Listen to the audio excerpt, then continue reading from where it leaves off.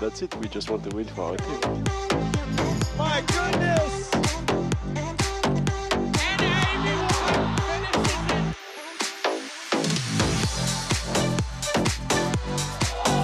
Yeah, we're just as good as men. We're better. It's a huge point for the Bay Area. Good chance that's the number one highlight of the week.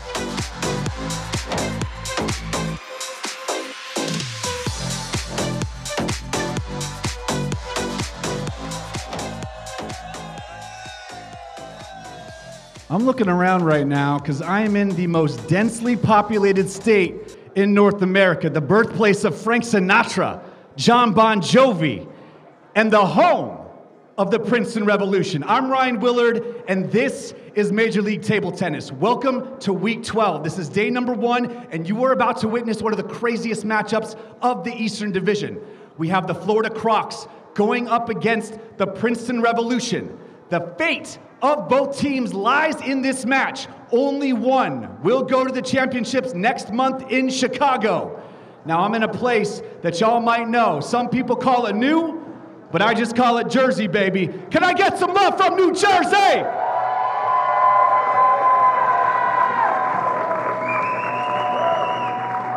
So we're gonna start this off and we're gonna bring on our umpires. Ladies and gentlemen, please welcome your umpire, Walter Lamb, who will be assisted by Jovana Najevic.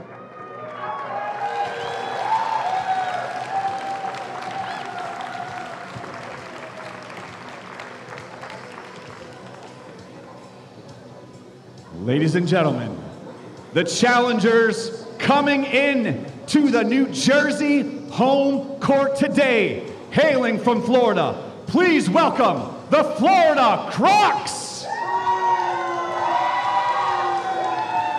And that is Daniel Gorak, Marc Duran, Benjamin Brossier, Ojo Onaolapo, Matilda Ekholm, and Daniel Gonzalez.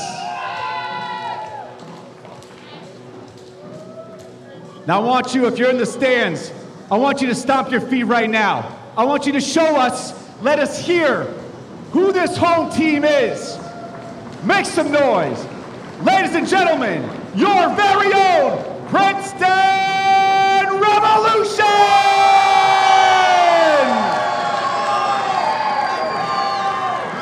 And that is Jishan Liang, Jinxing Wang, Yevgen Prishepa, Koyo Kanamitsu, Angela Guan, and Matthew Dintantillen. I just got to hear from the crowd. Are you guys ready for this Major League Table Tennis match right now? That's right. All right, teams, let's shake hands and let's get down with the get down.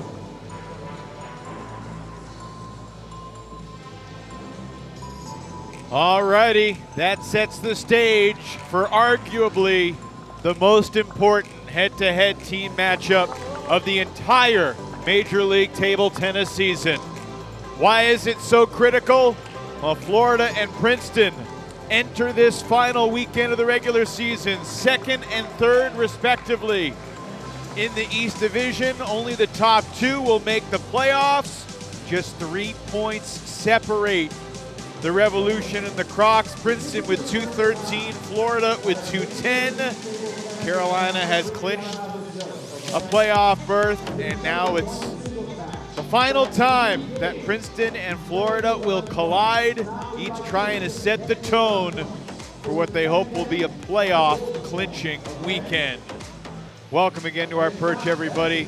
This is Major League Table Tennis. Matt Hetherington and Evan Lepler are with you. And Matt, every single time that Princeton and Florida have squared off this year, dating back to six months ago in September, the score going into the Golden Game has been 8 7. They played a lot of really tight matches, but none is more important than what we've got this evening. I mean, this is it. Uh, to have it in their home court, this could be a, a privilege or a downfall. There's plenty of uh, voodoo of previous home matches. We don't know how that's going to play into things, but I mean, they, they've done so well to gain momentum uh, coming into this weekend. the Florida Crocs, they still have as big a chance as any to, to get that second spot. Either team could come out in the second playoff position here. Of course, it's not only about tonight, this obviously being a, an important face-off, but there's still two more matches also this weekend. So there's a lot on the line here, but you know, two more matches to come. Nobody knows what's going to happen. Obviously, Princeton has had the momentum during the second half of the season. After such a slow start, the Revolution have come on strong. Much of that has been at Florida's expense. The Revolution have won the last four battles against Florida since the Crocs won in September. It is a little crazy, Matt, as we look at the lineup that Daniel Gorak and Jishan Liang is a matchup that we have not seen all year long in a singles match. I think we've seen it in a couple of Golden Games, but in terms of a, a three-game, 2-11 single showdown, this will be the first time we're seeing Gorak against Liang. And we heard Damien Provost talk about it when we asked him his thoughts at the end of the Chicago Carolina match. He said, This is going to set the tone. And I agree with him wholeheartedly. What about you?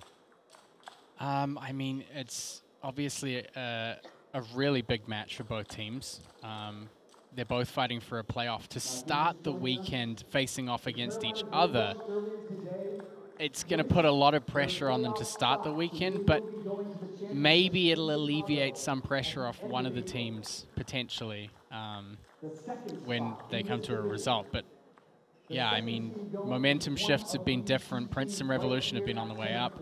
Florida struggling a little bit. We'll see how things go tonight. Quick reminder of the rules the four singles matches, sandwiching the one doubles match, all of which are three games to 11, each game worth one point. The golden game counts for six. So unless a team gets to 11 in the course of the first 15 games through regulation, it will come down to the golden game. And the golden game is just a, a, spectacle unlike the world of table tennis has ever seen. It had become pretty predictable this year, you know, since the calendar flipped to January. But uh, Chicago, 10, 15 minutes ago. yeah, Chicago is has been the outlier. They have two come from behind wins this year in zero, Golden Games. Zero. Members of the Chicago Wind have found a place in the stands alongside all the other fans, and the anticipation has built considerably to this moment. Gorak versus Liang. Daniel Gorak serves to get us started. First time we're seeing this matchup in a match. What uh, what are the bullet points you'd like to hit on both players? Uh, obviously, Jishan, big forehand game. Um, everybody's aware of this. The, the, amount of power he can get on his forehand Zero, is a real danger to any player in the league. Um, as he said in the last matchup, he's one of the only players that's beaten Enzo as well. Um, Gorak's quick. Gorak's a really Zero, quick player. He, he doesn't have the biggest shots, um, but he generates so much speed, both backhand and forehand, a lot of rest in the backhand. So I think Gorak, if he can play his A game, will have a slight advantage here um, because that quickness helps you keep somebody off their forehand. It's something that can really factor in here. Um, you know, I think I think Daniel Gorak has had um, big up and down swings across MLTT. He started out the season really well. I think he has a lot to prove. And if there's ever going to be a weekend to do it, it's this one. He's off to a scintillating start, catching one, the edge there. Five. He's won five of the first six points.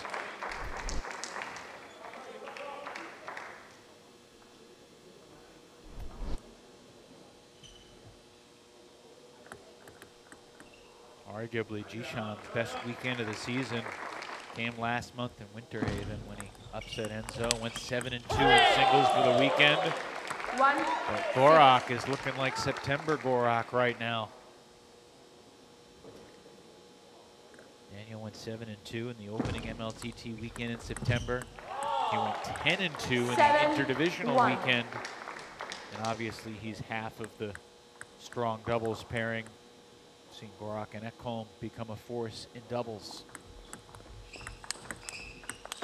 So you're down 8-1. You're Jishan Liang. You don't necessarily want to take a timeout in game one. What are you trying to figure out? You're not trying to One. necessarily come back and win this game. Certainly you can, but you're trying to figure out something for games two and three here in these next few points. Yeah, but also the momentum's important. Um, you know, Eric Owen said it in his post-match interview. Damien's talked about it as well. Momentum, and you can lose a game 11-2, or you can lose a game, you know, 11-5, 11-6.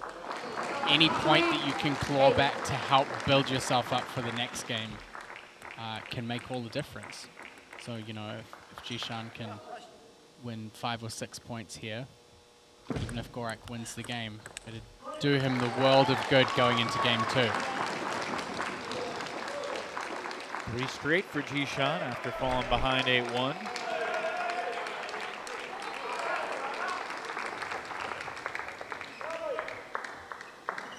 We will see Liang and Gorak both playing doubles today. Gorak with Matilda Ekholm and Liang with the chopper, Angela Guan. A little bit of pressure building now on Gorak. Went with a deep serve. Liang handled it. Four in a row for the Princeton player.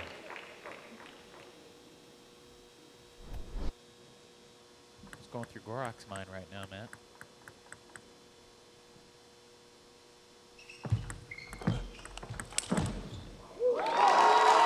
There's the big forehand. It's probably the worst thing for a player to see at this stage of a, an opening game. Jishan totally handcuffed him with the blistering pace of that forehand. We've seen him do that a bunch this year. You have to be so careful playing to the center of Jishan's forehand. Goodness. Six straight points Seven. for Jishan Liang.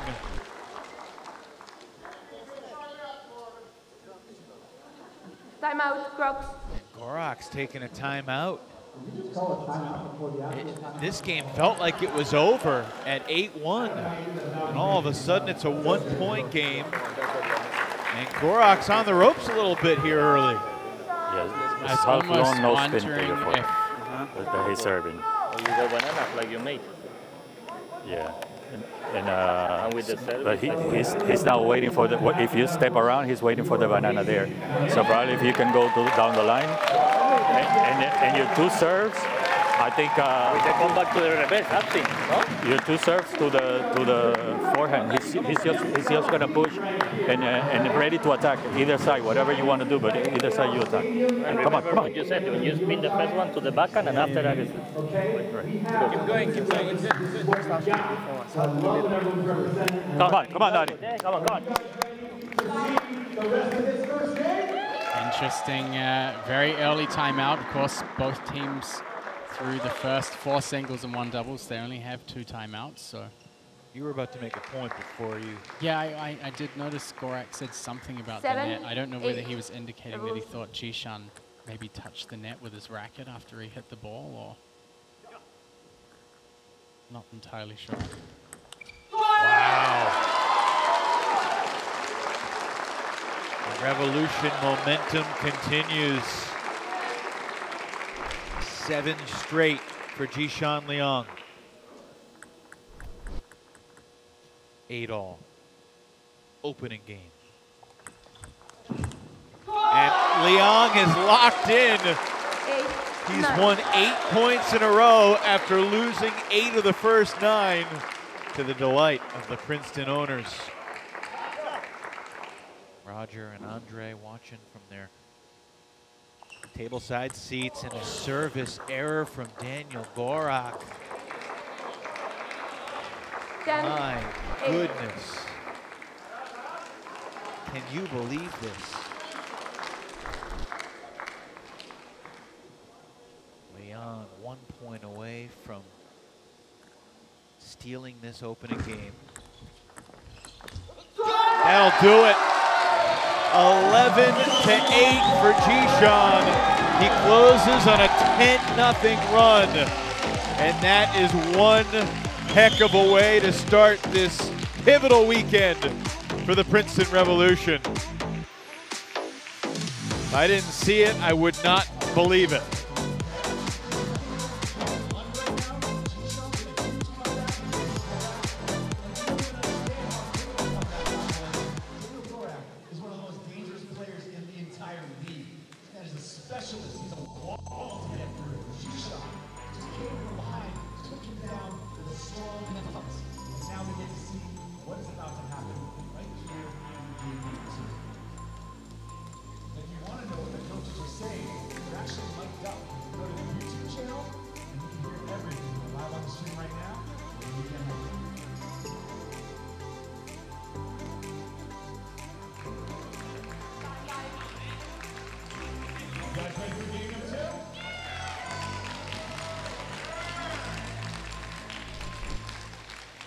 Spicy start to this big time Just a meaningful ghost, matchup. Ghost pepper spicy.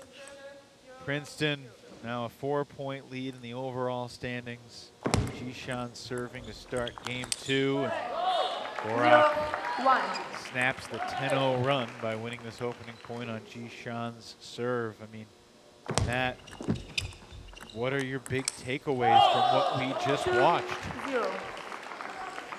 Um, it's kind of hard to unravel. I mean, uh, Gorak started so well in the first five or six points, but uh, all it takes is you, you take a little bit of pressure off, and like I said, it's about momentum. And, and Jishan clearly was just focusing one point at a time, just trying to add one more point to his uh, to his tally to try and get some momentum. And he just took it and run with it. And Three. I think uh, Gorak, towards the timeout and after the timeout, went from being really pumped up at the start to being a little bit frustrated. And that mentality shifted everything in that first game. We have seen Daniel wear that frustration on his sleeve, literally, at times, particularly in the second half of the season. And this start reminiscent of game number one. Gorak is dictating the pace and tempo of the point.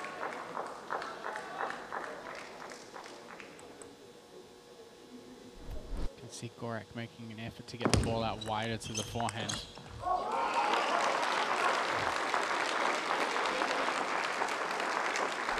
Jishan's a player who likes to step around a lot, so Four. Two. again, that style that we talked about earlier with Pinto as well, the serve and step around to find the forehand.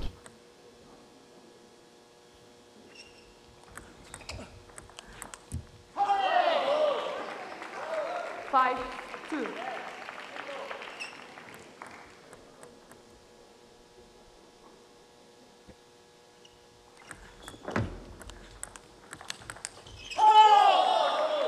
It's a strong response from six. Gorak here in game two. Now, obviously, the job is far from done. Yeah, I mean, I think he knew exactly what he was trying to do, and it it was working for him. But you know, the wheels just fell off, and to get to that pressure point at the end of the first game and to miss your own serve, that kind of shows how much pressure both of these teams are under right now. And going out first, you know, having that responsibility to set the mood for your team. Swing and a miss from Liang, Seven. pointing to the lights. Again, you can see Gorak trying to get the ball out to the forehand side more.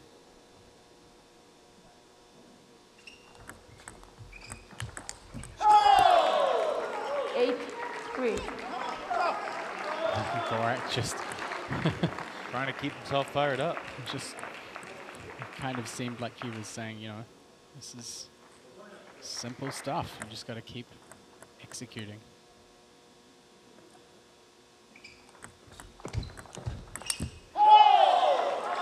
Three. Nine.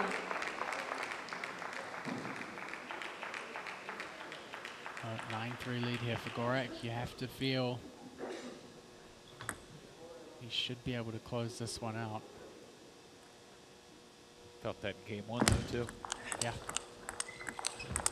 And that's what And- capable of. Four. Nine. Talk so much about the forehand, but the reflexes on that backhand down the line, not too shabby either.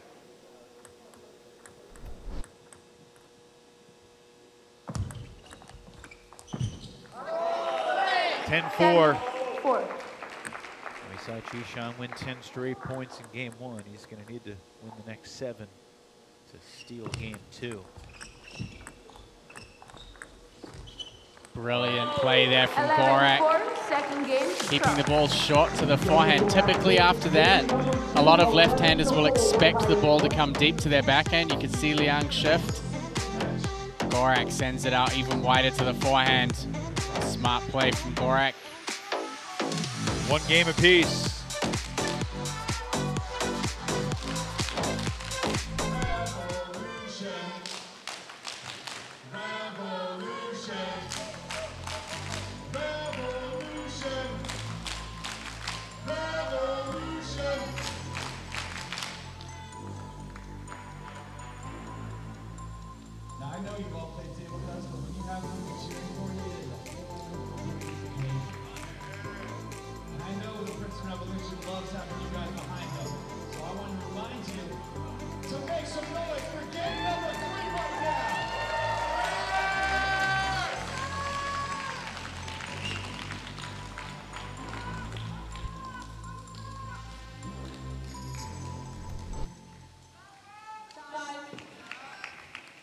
Daniel Gorak and Jishan Liang heading to a rubber game in this opening singles match.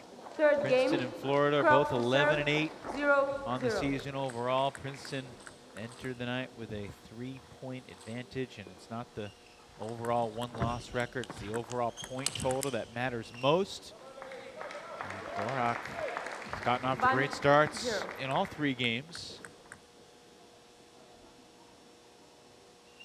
Maybe a tad premature to say he's off to a great start in game three. One, one. It's, it's funny though. It feels like he's dominated the match, and yet we're even. Jishan's right there. Yeah, I think Gorak really needs to win this third game. Um, I think knowing knowing that he had such a big chance to One, get the first, two. and knowing how important the value of one point here is right now, he definitely needs something to help redeem himself. Jishan hustles for that ball. Again, Gorak just playing with really great speed on the ball.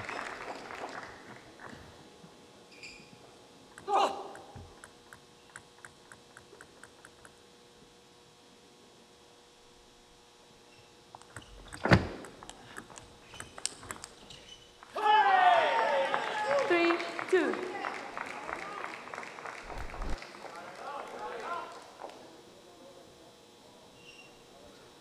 Thought it was interesting when we asked Damien Provost for his thoughts about this Princeton Florida match. One of the things he talked about was Gorak's leadership. And that goes for both his time on the table and his time off the table and sort of kind of setting the tone. It's a tough position to be in. I kind of alluded to that pressure in a couple of the recent uh, rounds where Florida hadn't been doing as well.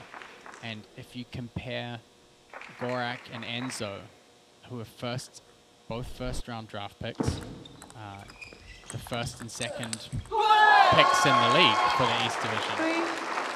Um, you can see how Enzo has kind of risen to the mantle, and maybe the pressure of the mantle has affected Gorak in a different way, and the results have been pretty clear, I think.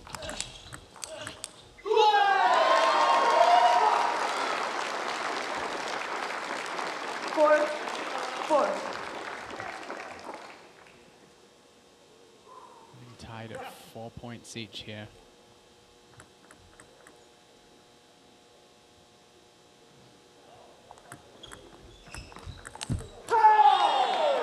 Five, They'll change sides Four. at 5-4. Gorak with the slim lead.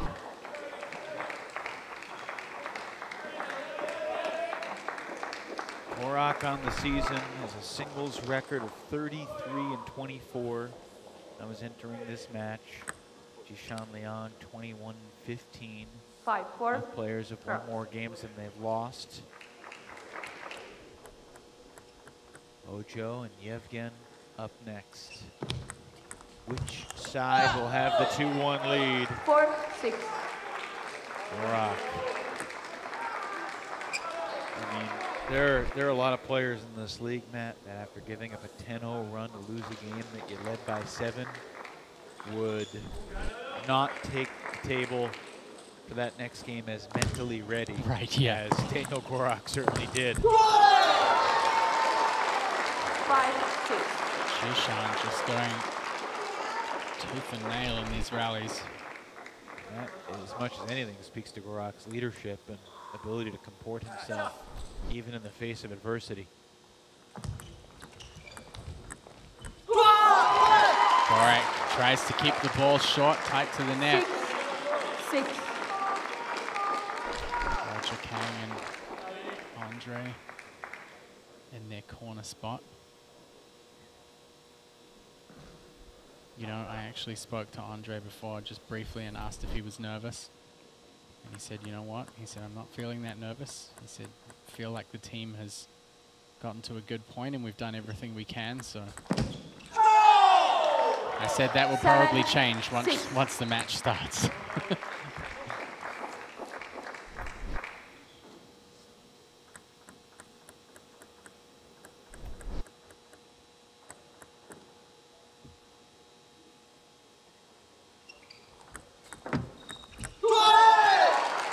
And it is Seven interesting as we're all. Tied 7 all here in this rubber game of this opening singles match. Uh, regardless of what happens tonight, this is likely coming down to Sunday. And Sunday morning at 11 a.m., Florida will play Carolina. Then Princeton has Chicago. The Revolution will, will know going into their last match how many points they need to beat Chicago by. As Liang surges into the lead. Seven.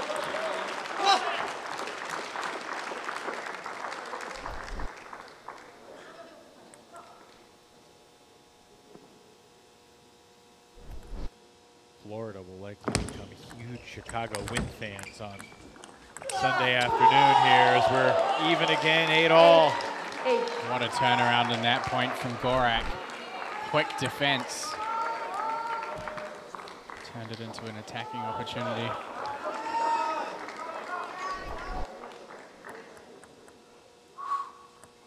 So many points, so many games, so many practices, all leading on to these critical points in this final weekend.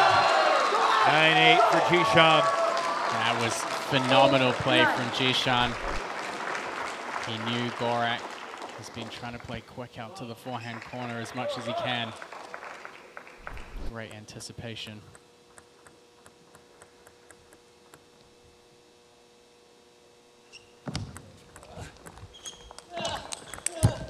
Nine all. Nine. Nine.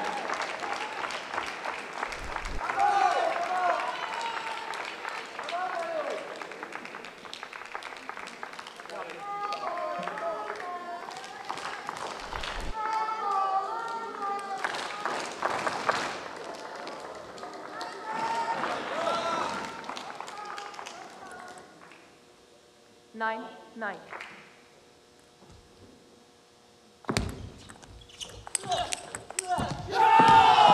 Gorak, he knew how that point going to play out. Nine. Ten. A huge roar from Gorak on one side, a frustrated foot stomp from Jishan Liang on the other. Liang serving, trailing by one at 10-9.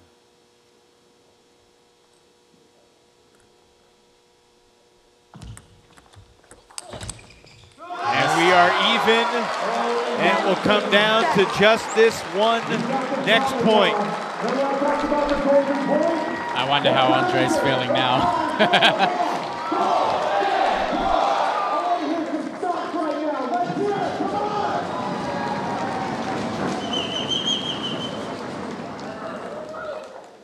Ten. Ten. Let. Gorak switching to the backhand serve. It's an interesting choice. Got another chance to think about it. I think he's thought about it enough. I don't think we're going to see it again. Golden point.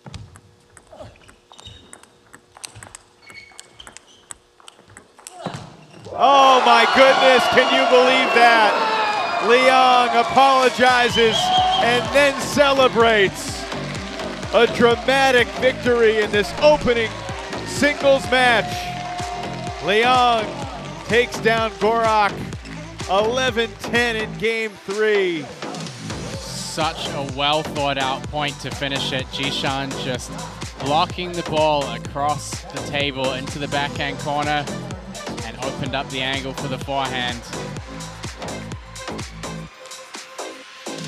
Huge start for the Revolution to come back and win that first game from 8-1 behind. Jishan Liang has put the headset on. Uh, congratulations, Jishan. What a riveting match. Let's just start at the beginning. You're down 8 to 1. What are you telling yourself at that point? How'd you come back in game number one? Yeah, especially like any happened like recently. Like I watching and also I play a lot of matches. So even the first match, um, Pinto play against uh, um, one player, so down 10-4. So Mm. I just try to focus on every point because I know even I lose, I don't think lose or win. I just try to fight every point. I try to f- find my feeling. Yeah. And I mean, the way that you are constructing points, are there particular weaknesses that you're looking? I know Gorak, he plays quite quick. And obviously, when you need a little bit more time to play bigger forehands, you need more, uh, you know, you need more time. How do you, how do you work that against him to slow him down a little bit, or to give yourself a chance to play? Yeah, in beginning I saw his backhand really well. I tried to push more middle, and then he stepped around really quick, and then my backhand blocked soft, and then he tried to immediately get my forehand. Yeah. So, but when I get a chance to coming back, maybe one or two point, and then I, I try to push to backhand, ready to forehand. Jishan, watch the golden point on the monitor and talk us through it. What was going through your mind?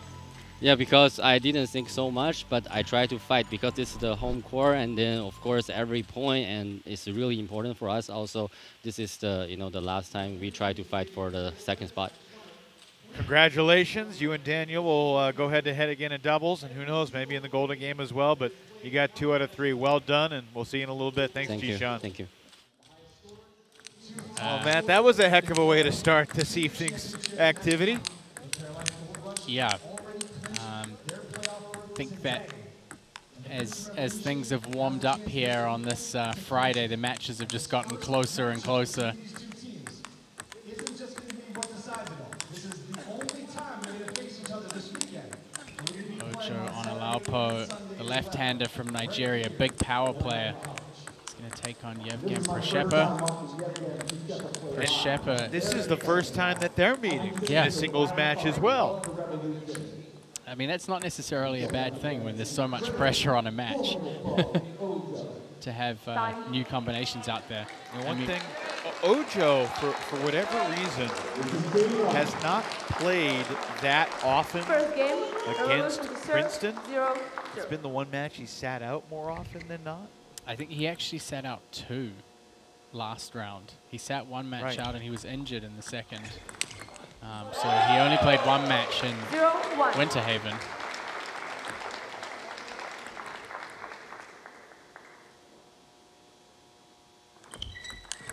Now, one of the things that Ojo plays really well against is any half-long ball. So any ball that's dropping just over the end of the table after one bounce. Plays with a lot of power, Two, one. very aggressive against half-long. Two, oh. Revolution.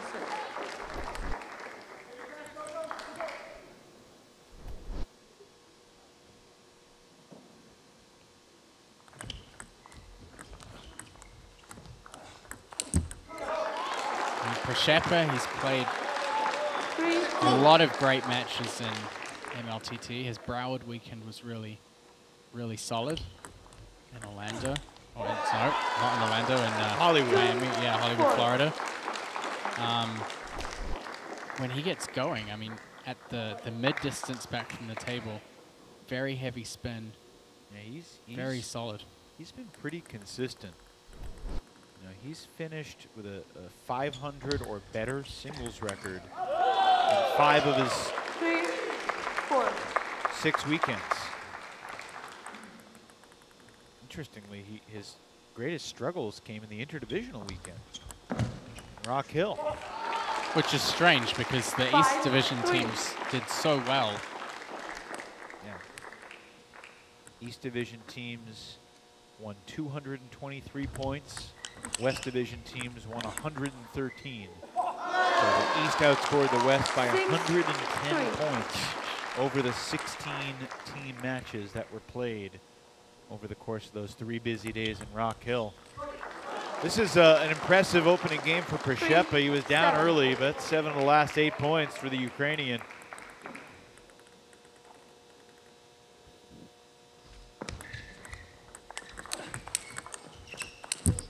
I think one of the things for Pryshchepa is he's able to hold his own so well in a rally. Ojo doesn't want to rally with people. You know, his first ball has so much power, and you've got to feel the longer the rally goes on, the greater the chance of Pryshchepa winning the point. Eight, four.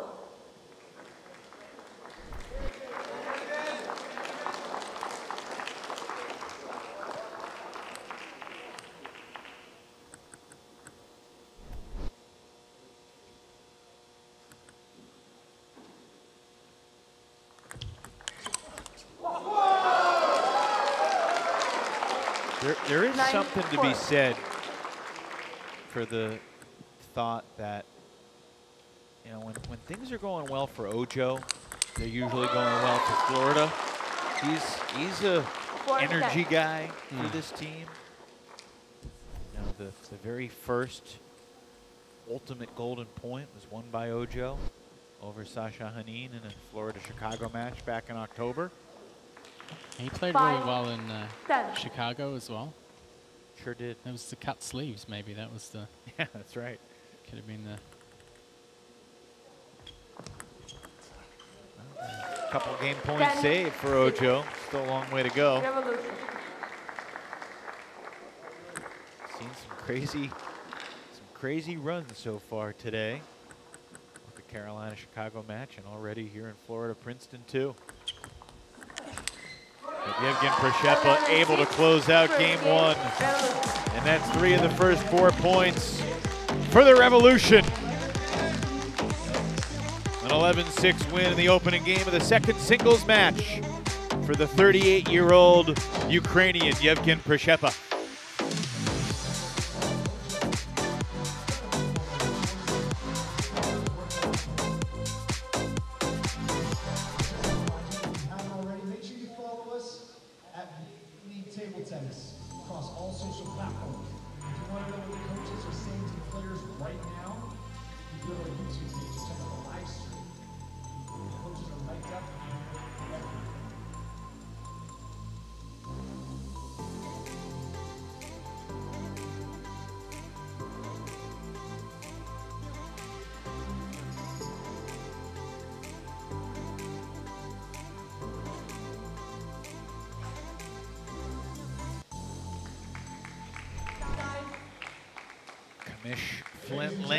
Amongst the fans here at the Alumni Gymnasium on the campus of Rider University.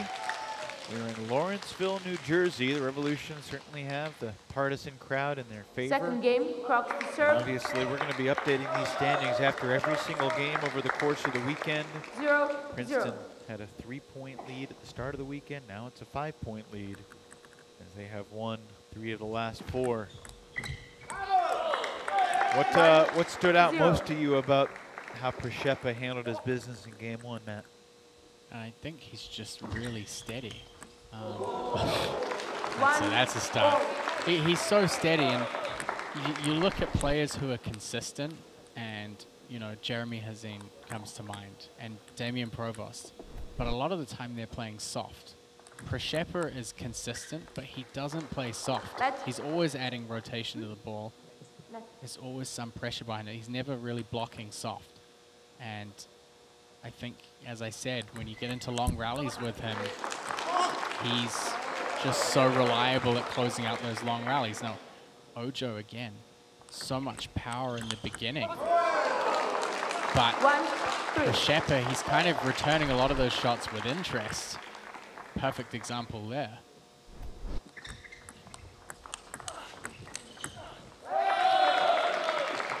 And you know, also the way that Ojo plays, there's so much body in the ball. So there's a lot of weight transfer. And usually he kind of throws that body weight into the ball, takes him a little while to recover. So, you know, he doesn't want that ball coming back a lot of the time. three, three.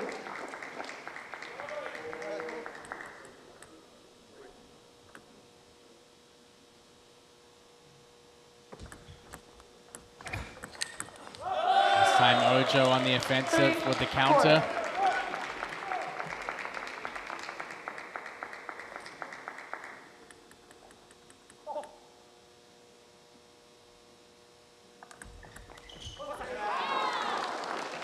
Four, all.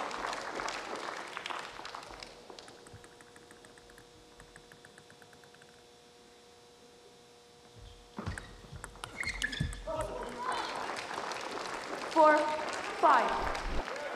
Shepherd just looking solid out there. Ojo a little bit more up and down in terms of points won and points lost. Good fight there from Pryshchepa. Six, four.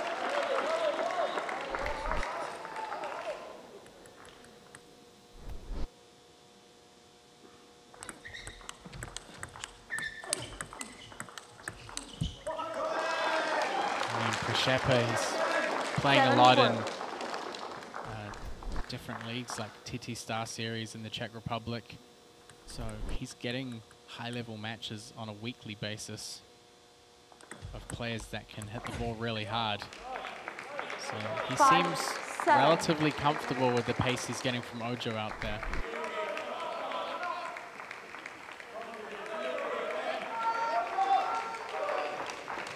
Ojo's not too far from his current home. He lives in Newark, New Jersey now, originally from Nigeria. So you figure the home crowd will give him a little support, maybe.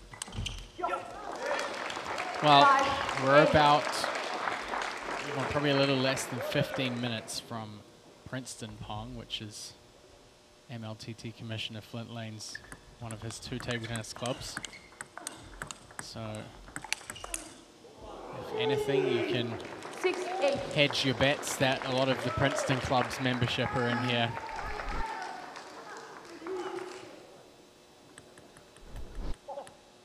Two-point lead and a couple serves here for Pryshchepa. Great third ball pickup there from the Ukrainian.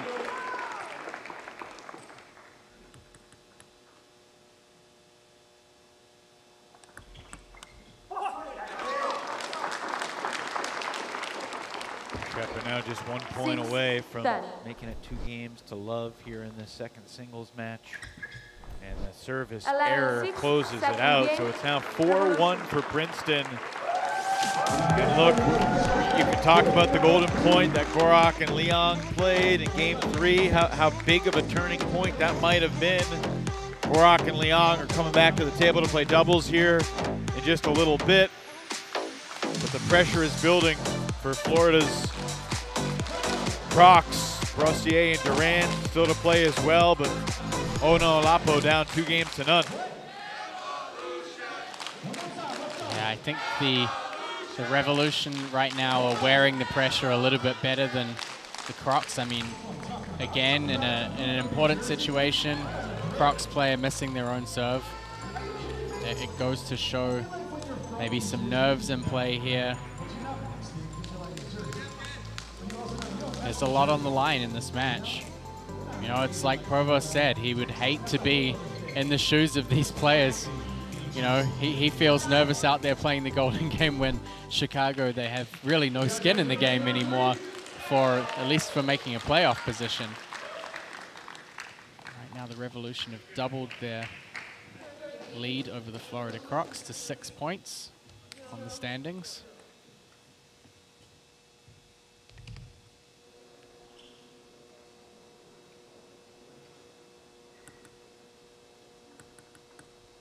Yevgen serves to start game three. I think one of the interesting things uh, earlier this morning, uh, before I came into the venue, was talking to Jung Kai about these two teams, and he felt that with their current full team lineup, the Princeton Revolution were more of a threat to the Carolinas in a match than Florida. So that could also factor in a lot as well. One, two. Well, we, we've talked about that, right? We've talked about Princeton's depth, particularly in the CD spots, Mm. with Pryshchepa and Kanamitsu. Three, one. Obviously, DeSantalon as well, who's not active today, but we'll see the Frenchman Matthew DeSantalon presumably tomorrow and Sunday. Yevgen's just cooking right now. Doing a great job of mixing up the serve game. Some half long, some short, some long fast. There's the long fast again. two, four. a couple of occasions where the ball's kind of been floated on serve return for him that he's hit over the end. But generally making pretty good adjustments. Three, four.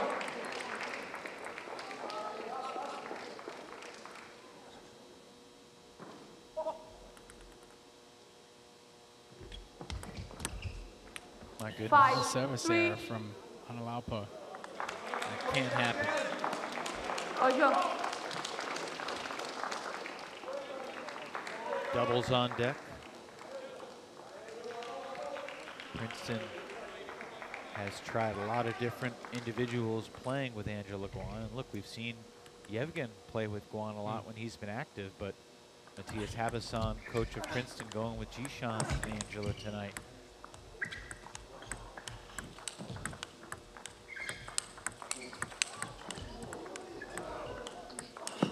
What a point. Three different net balls on that net point. balls.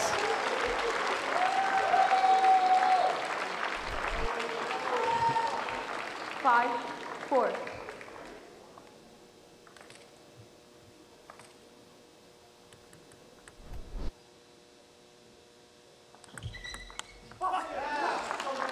There's the half-long Four, pendulum six. cross court. Cross. It's a really hard serve to return righty against lefty.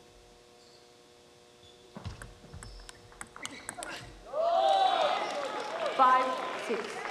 Uh, Ojo closes to within one.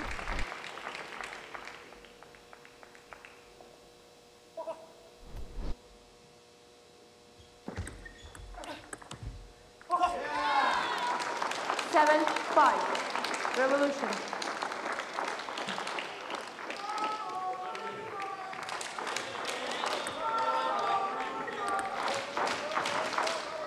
In the Chicago Carolina match earlier tonight, four of the five matches, in fact, in all four singles matches, Let's. I shouldn't say that. Four of the five matches total. Same team won the first two games, but three out of four times the person that fell behind 0-2 salvaged a point in game three. Seen that more often in the East than we have in the West. We talked about it earlier. Seven, six. Statistically for the season, over the course of the 76 team matches that we saw coming into this weekend, you win the first two games, you got about 62% chance of winning game three. More often than not, the sweep is finished off. Ojo, Ojo won't staying go away. alive. Seven, seven. Marc Duran liked that one. You Could see Pryshchepa trying to hook the ball wider and wider to Ojo's backhand side.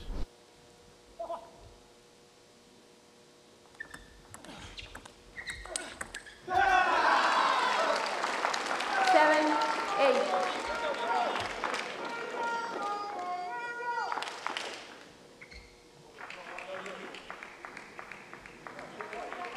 Seven, eight.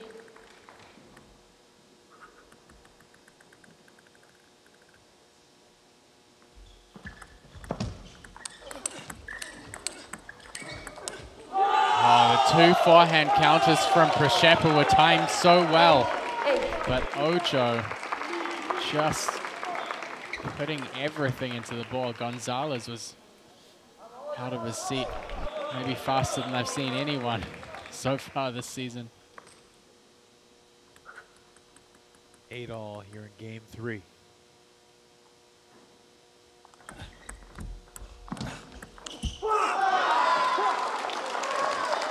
Nine, eight. Strong initial first return from Ojo. Good short chop.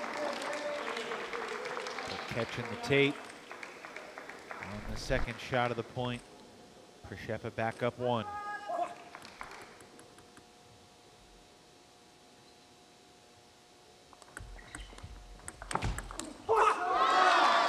Great serve and attack combo from Pryshchepa, 10-8. Cross. The opportunity for a 3-0 sweep here.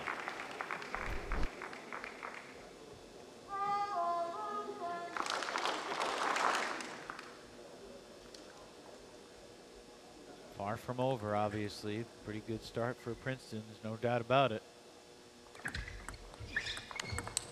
A cautious serve from Onaolapo, and Pryshchepa outduels the Nigerian in three consecutive games. 11-6, 11-6, and 11-8 to finish it off. A 3-0 sweep for Yevgen Pryshchepa and a 5-1 lead in this mighty important matchup for the hometown Princeton Revolution.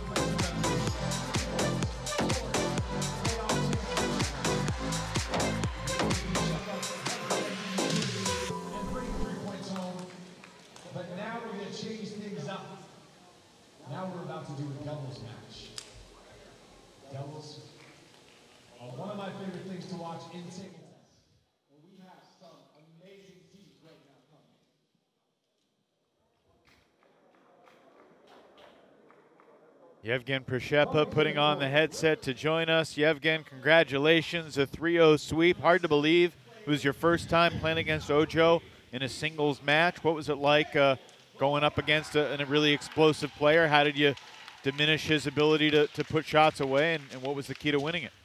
Uh, first of all, thanks uh, for your congratulations. And my plan was use my different serves to I don't know this English word. Okay, just to make him mistakes and uh, use my game to not give him the chance to hit his forehand. How many different serves did you use? Actually, because it's big pressure, very important match for us, I was a little bit uh, under the pressure, so I use one, but very, very successful. I changed the spins and the, the speed of the serve. And I know you guys have put in a lot of preparation for this weekend. Uh, most of you arrived on Tuesday, I think, and you've been playing twice a day. Uh, how do you feel about the? T- I mean, you guys have got to feel pretty good about your chances this weekend. I mean, for you to take three now, that's got to fill you with confidence. Uh, first of all, I want to say thank you to our team, uh, team uh, also team uh, team owners, coach that support us all the season. So we we feel very comfortable here. So it helps a lot. What, what, if anything, were you working on during your days of training to get ready for this big weekend? Um, at home, as usual, I'm trying to do a, a, lot of physical work, like to be fast, um, have good stamina, and yeah. Yeah, again, congratulations on a 3-0 sweep. We'll let you go get ready for the golden game, and you. we'll watch the doubles. Thank you. Thank you very much. Thank you, Yevgen. Oh, if there was ever a time to land a 3-0 sweep, Yevgen Pryshchepa's got to be pretty happy that it was now. One, one. So, first two doubles points split. Liang and Guan against Gorak and Ekholm. We have seen this exact doubles pairing four times previous, previously this year. All four times, Florida took two out of three. So there has not been a sweep. Jishan's forehand is still the most explosive shot from these four players. There has to be a, just a ton of pressure weighing on the shoulders of Ekholm and Gorak now, but it's all Princeton, and specifically it's all Jishan. You know, I'd be very interested, given that the Princeton team specifically spent time at Princeton Pong building up to this weekend, whether they spent time focusing on doubles, knowing how important it would be coming into this weekend. Because, you know, when you're traveling a lot, you don't really get time to do deliberate and specific training for your doubles combination. Yes, there's a lot of warming up before matches, there's some practice sessions between matches, when you have a, a three or four day preparation, you have time to really focus on things. So it'd be interesting to see if Matthias Harbison actually spent some time working on the doubles. Four, three. But Ekholm and Gorak have, have just been such a solid doubles combination. And the kind of emotional roller coaster that you go through in a match with both of them. Always very expressive doubles pairing.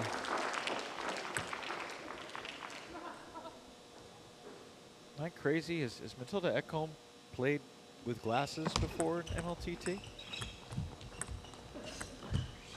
I might be crazy, but I don't think she has. I don't think she's actually played the match with glasses before. No, not in MLTT.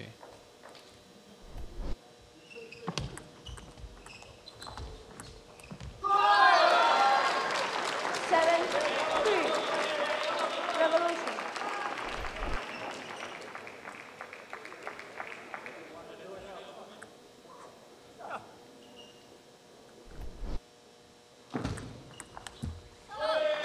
Gorak not quite making that half-lung opening. You have to wonder in this pressure situation how the corresponding moods of Jishan and Gorak after the first singles. No doubt about it, man. I mean, I'm just thinking about you, you can't avoid the the big alligator in the room right- right now. You know, look at who Princeton has next. Koyo and Jinshin Wang. They both have been playing really well lately against Brassier and Duran, who have had their ups and downs. They both had their moments, but I think you favor Princeton to at least Mm. get two points in each of those matches on paper. Now, you don't play it on paper. But if Gorak and Ekholm can't take two out of three here, th this could get ugly. I mean, this Yep, totally could become a, a, a really insurmountable lead. Princeton began the day with a three-point lead in the standings. It's now obviously up to seven. I mean, now Florida can win the Golden Game. Right. I mean, It would reframe the conversation considerably. in, in terms of which game to focus on, even if they only win one out of the three games, get the first one. Your, your chances of having a big impact on the second and third go up so much if they can get the first game then. You know, as opposed to getting the middle game or the last, obviously. Whoa. Jishan wants that swing back, and Princeton's taking a timeout. Florida has clawed their way back here into this opening game. It's 8-7. so he can get this slow one and then counter. When he's when he's pushing back, stay a little closer. Closer, I know. This time they don't Little closer. But no, no problem. We are leading. Everything is fine. love He's playing very well. Okay. Yeah, you just if a little bit to lower at and this a little board bit really closer. quick, I just got to point out a couple of things. Okay, when they make like bomber, all that you can. lists, Okay, but when they twist push, This one it's much better than doubles. this. uh, The Florida just Crocs, 36 and 21. They are the second best doubles record in the league right now.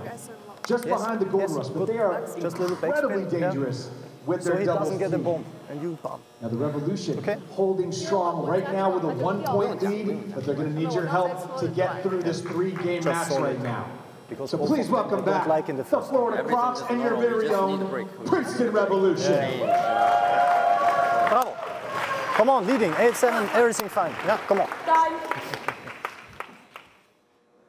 8-7. Everything's fine. we shall see if that is indeed the case these next few points. Something between. Wait. Angela, something's on the table. Online. Online? Yes.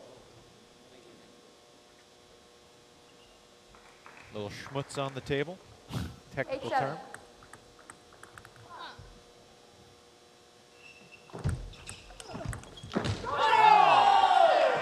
Eight all.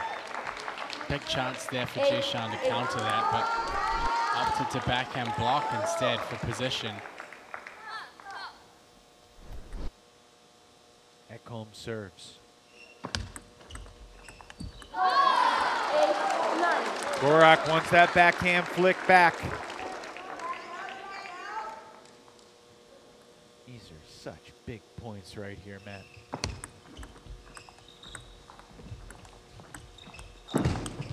Wow.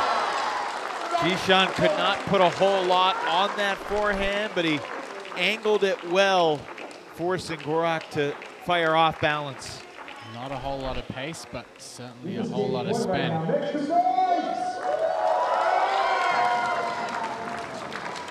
Ten, 9-8, three game points. That was an underrated, really nice shot from Jishan. Not not his typical forehand either. Showing a different pitch. Ekholm keeps Florida in it. Nine. Matilda's best swing of the match. Ekholm in mixed doubles has such a great ability to play topspin and make it difficult for the male players to counter. Remember early in the season, it felt like no matter what the score was, Gorak and Ekholm were down, they'd figure out a way to come back and win it. But they can't do it here. Gorak sends it way long, and Guan Liang take game one.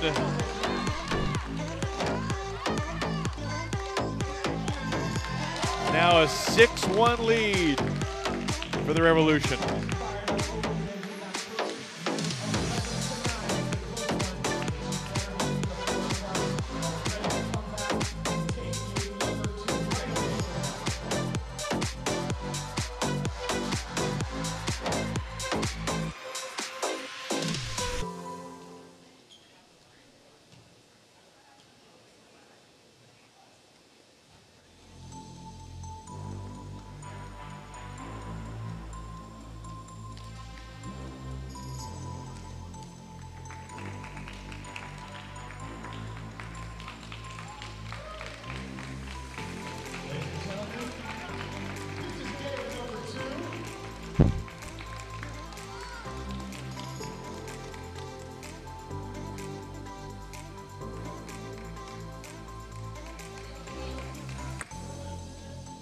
Certainly saw many twists and turns in that opening game. Now the order switches.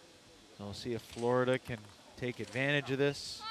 There's still two more matches this weekend, tomorrow and Sunday, and there's still two more singles matches today, but Florida has not gotten off to the start it has wanted to, despite Gorak leading 8 to 1 in the opening game of the first singles match earlier this evening, and an edge from Guan. One, one. Grow. Certainly worth noting that Chicago trailed by seven points to two at one stage during their match with Carolina. Two, Came one. back to win in the Golden Game. But for the Florida Crocs, it, it has to start now. If they lose this doubles match, it's, I, I feel it's a bad omen in itself, regardless of the next two matches as well. Gorak and Ekholm need to dig deep.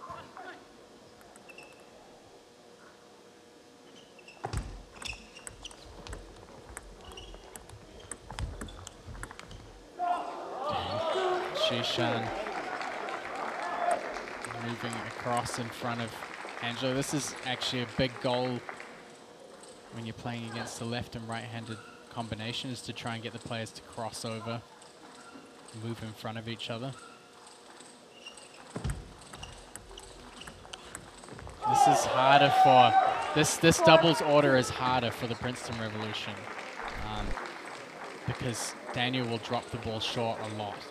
So you can see they'll move them into the table and then they'll push them out from the table. You can see how they bunch up together in the corners.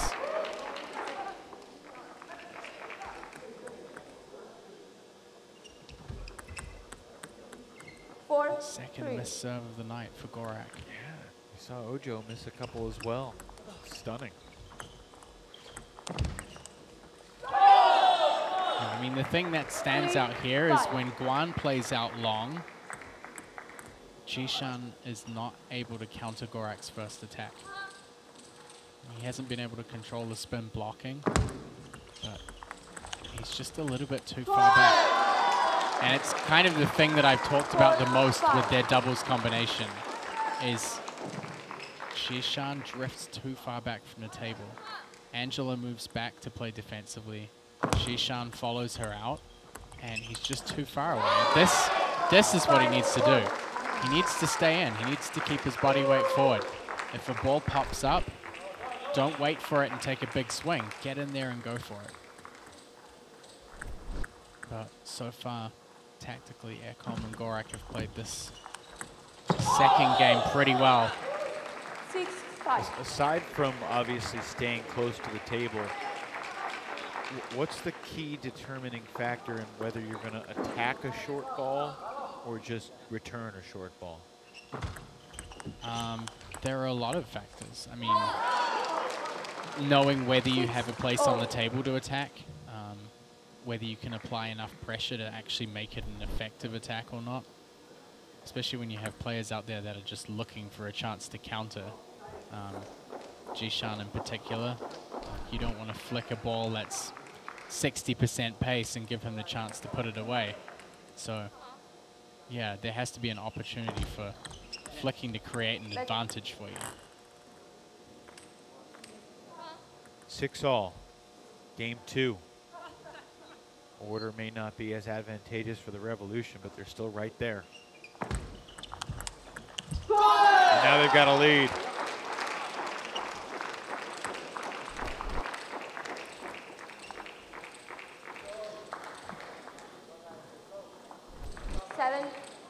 Princeton team that started the season one and six. 10 and two in their last 12 matches and seemingly on their way again today uh, to a 6-1 lead through the first seven games. Seven all here in game number eight.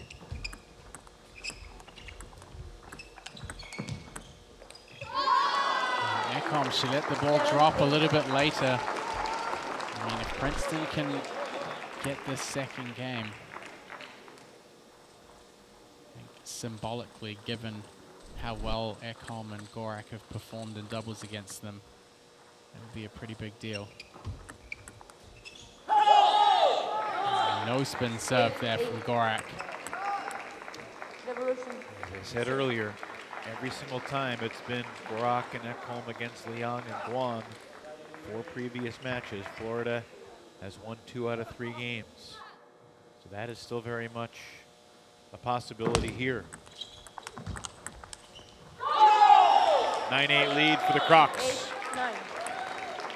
Cut off guard a little bit by Angela being a little aggressive on the return.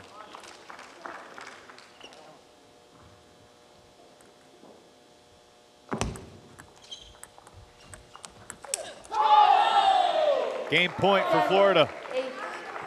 Crocs.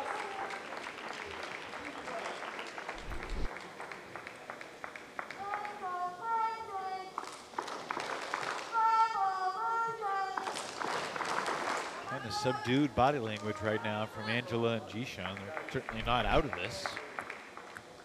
Back home with a pair of serves. Gorak looking to attack. Sends it long. Ten, nine.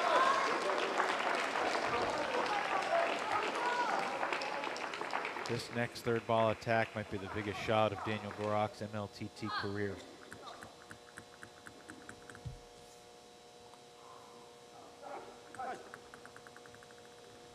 Can he put the pressure on Princeton?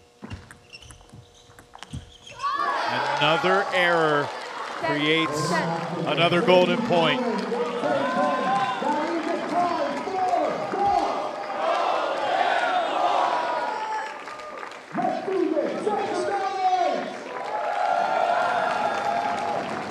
Angela Guan will serve. Ten, ten. Revolution.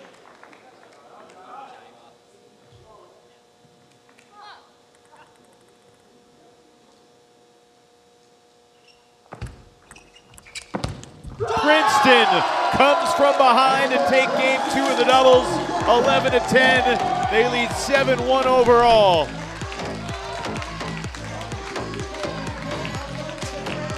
Another heartbreaking loss for the Florida Crocs, up 10-8. Gorak with plenty of opportunity. Disappointing for the Crocs, but Princeton enjoying the moment here in Jersey.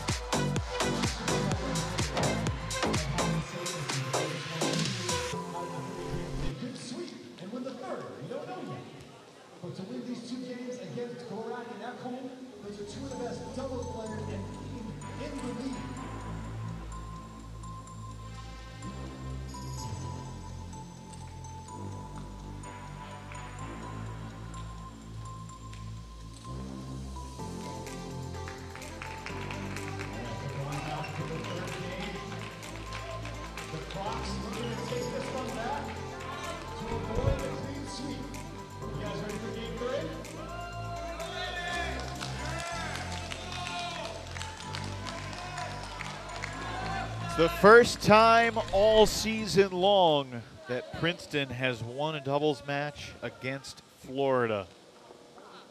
Now we see if Liang and Guan can complete the sweep, guarantee themselves a lead going into the Golden Game regardless of what happens coming up. 11-9, 11-10 are about as close as you can get, Matt, but it's hard not to see and feel the contrasting Let's- emotions and the body language Zero, with everybody right one. now. On the table and in the bench areas.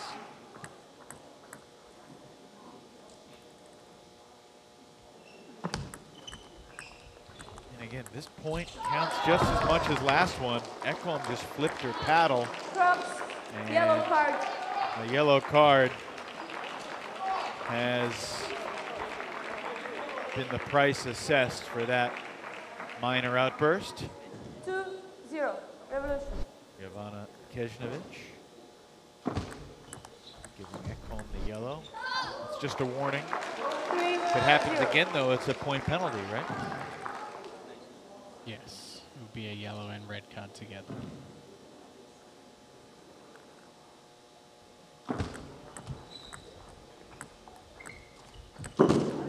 There was ever a time to get a yellow to try to change the momentum, this would probably be it. I don't know if Matilda got her money's worth.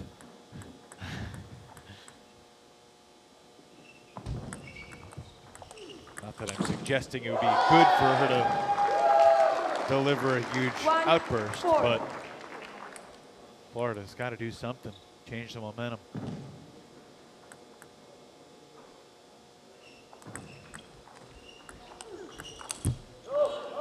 Ekholm getting in. Again, that, that opening loop from Ekholm is, is tough to time for a big counter. It dips down, she keeps it pretty low.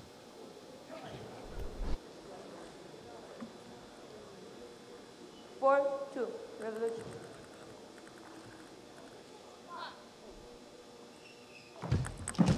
Service Four, error from Guan. three. We, no joke, we have seen more service errors so far today than we have seen in some entire weekends throughout I the season. genuinely feel like I've seen more service errors in Major League Table Tennis than in regular table tennis matches. And I think it's the pressure and you know the shorter format. Just knowing how I think I think Rebate was the one who answered it probably the best. He said, you know, you put the same amount of pressure on your serve as you do on other parts of your game. If, if you want to up the up the ante with your serve, then there's risk involved. And he's, you know, he said the serve is really important when you're playing just three games, or you're playing golden points. So um, that certainly shone some light on a kind of mysterious uh, difference between MLTT and couple of good heads of hair in the on deck circle. Brossier for Florida, Koyo from Princeton. Don't know whether to feel targeted by that comment, Evan. It was not the intent. Six, I have four. no idea what your head of hair looks like. You're always wearing the hat. There's nothing under there. Could have fooled me. Oh, Maybe I'll borrow the uh, the the uh, the Gold Rush Gandalf get up. that would be phenomenal.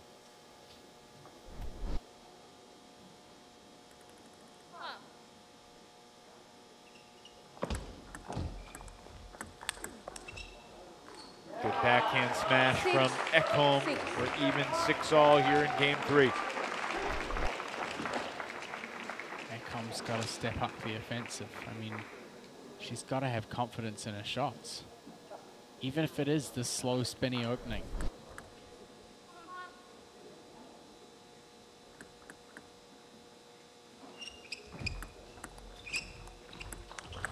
How about the attack from Guan? Six. She spent all season long lulling her East Division opponents into a false sense of she's not going to attack. Of course, we see it on occasion. And it's usually effective because it does catch the opposition off guard, Seven. like a seven. netball would.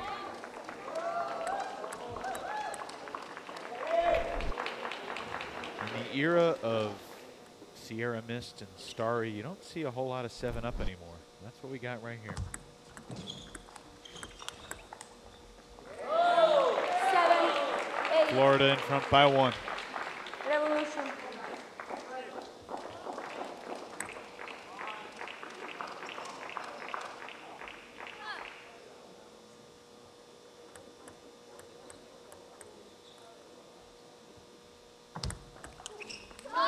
That's a risky play from Liang. You don't see many long, fast serves in doubles. That pays off for him. To serve. Ekholm has some great serves this season. You dial up a couple here? Wasn't a bad serve, Matt. But Gorak, again, almost like he feels an obligation to be aggressive on that third ball. That's the shot that cost him game two.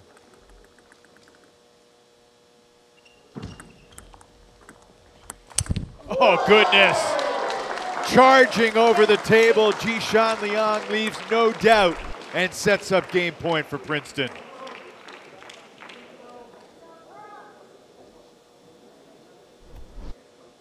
Revolution one point away from a sweep in doubles and an 8-1 lead on the scoreboard for the night. Ten. Not done yet.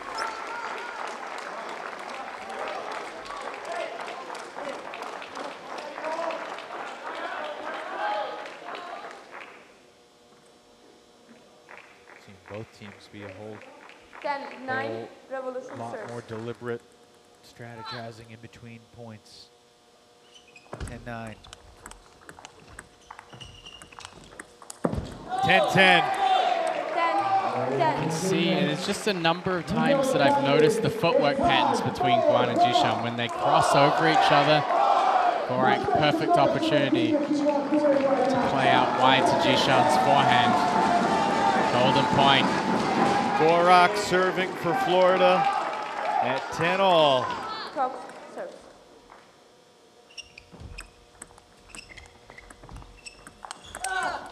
My goodness. Jishan Liang and Angela Guan complete the sweep in style.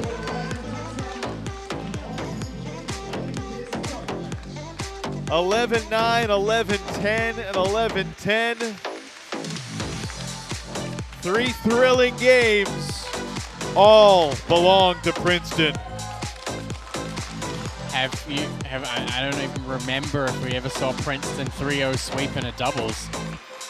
Maybe against Chicago, but certainly not against the Crocs or the Carolinas.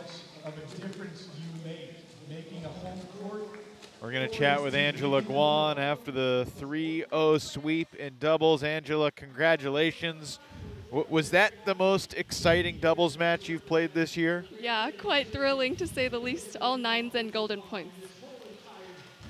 T- take us through it. I mean, obviously, we know this is a huge match for you and for Florida. Daniel and Matilda have had your number all year long. What changed today? Daniel and Matilda are a very strong pair, and pretty much we've lost every single one against them. And this is the last match of season one, also our home court. So Jishan, my partner, was really supporting, supportive, and encouraging me just to fight hard and give it our best, especially on home court. You never know what happens. Now, Angela, I know you guys have been here practicing a lot. Um, a lot of you have been here since Tuesday, training at Princeton Pong. One of the things that I was wondering, I mean, you guys came out of the blocks looking really good as a doubles pair. Did Matthias spend time with you guys focusing on doubles during those few days of practice? We worked really uh, much on individual game, but it really complemented the doubles as well and different skills to make doubles a success. What will you do between now and when the Golden Game starts, Angela? stay focused, cheer for my teammates, and keep fighting. Let's go, Revolution. Well said. We'll leave it there. Congratulations on the 3-0 sweep. We'll see you in the Golden Game. Thanks, Angela. Enjoy the match. Unless you're a Florida fan, this has been absolutely riveting and enjoyable. We have seen uh, three golden points, all won by Princeton. Princeton, I mean, look, nine games so far. Six of the nine have been decided by three points or less, and all six of those games have gone to Princeton. Five of the six to Jishan. Yeah, Jishan is having a night, that's for sure. Right now, when the day started, the Princeton Revolution All right. three points ahead. Koyo versus Brossier. Kanamitsu defeated Brossier two games to one when they met for the first time in MLTT. I think he won month the first two, right? Uh, no, they split the first the first two. two. Oh, yeah. Brossier won the first, First game, game. 11-9. Yeah, And that's nice. I remember that. Kanamitsu won game two, 11-8. Game three was a lopsided 11-3 First game, final. Revolution to serve, 0 0. That's when I put a little bit of heat on him in the post-match interview. we'll see what he can do this time. Let And there have been moments this season when Benjamin Brossier has taken the table in dire straits for Florida and delivered some fantastic performances. Yeah, and he's actually been up here on the sideline, kind of in the back area. Um, I would say for almost the entirety of the doubles match, One, doing one. little footwork drills, doing shadow play, everything to get himself focused and in the zone.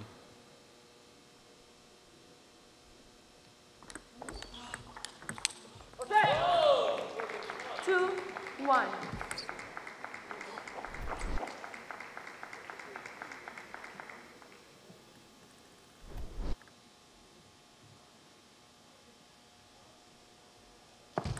Day so far for Jishan Liang fantasy owners, I'll tell you that.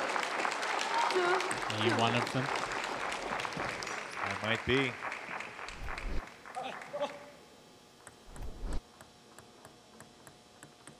I haven't checked in on the standings yet. Got to see where where Sean's at. Don't don't make the same mistake that Sean makes in going all in on your trash talk after one match or two matches on a weekend. That is the biggest mistake you can make, and Sean has made that mistake on multiple occasions. And fairness, so have I. Had a brilliant start last time. I mean, wh- what is your mentality coming into the weekend, considering that in five consecutive MLTT weekends, you and Sean have both finished with fewer points than I have? Aren't you guys supposed to be the experts? My mentality is that it's a season-long fantasy, and I'm ahead of both of you. So the the, the, the weekly standings only exist until the next match. The season standings are forever. So, well, you know, There is some factual truth to what you are saying. I can say one thing: The I've been the most consistent in terms of submitting a team. Well, I was not aware the competition existed that first weekend. It did. Knowledge is power. And uh, you you have remembered to submit your lineup every weekend.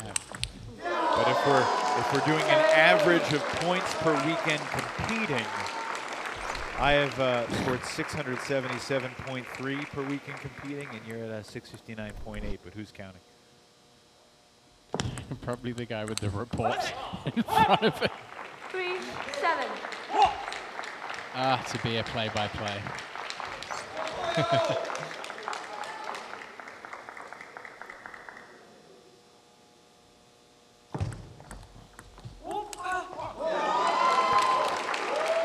Three.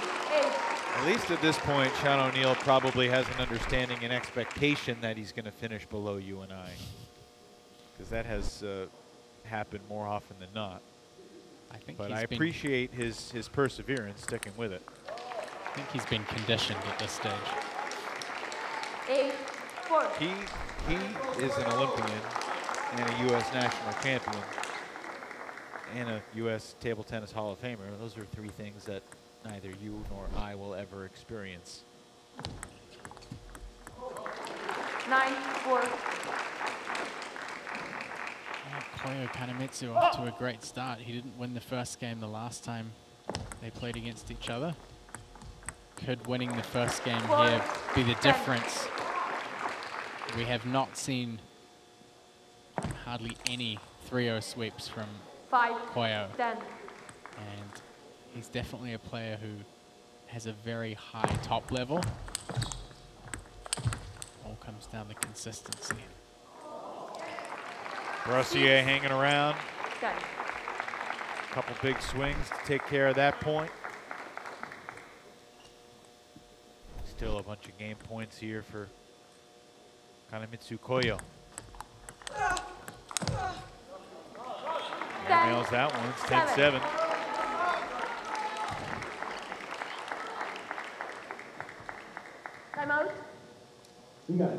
Princeton takes the timeout with Brossier gaining momentum. Matthias Habasson trying to nip that in the bud.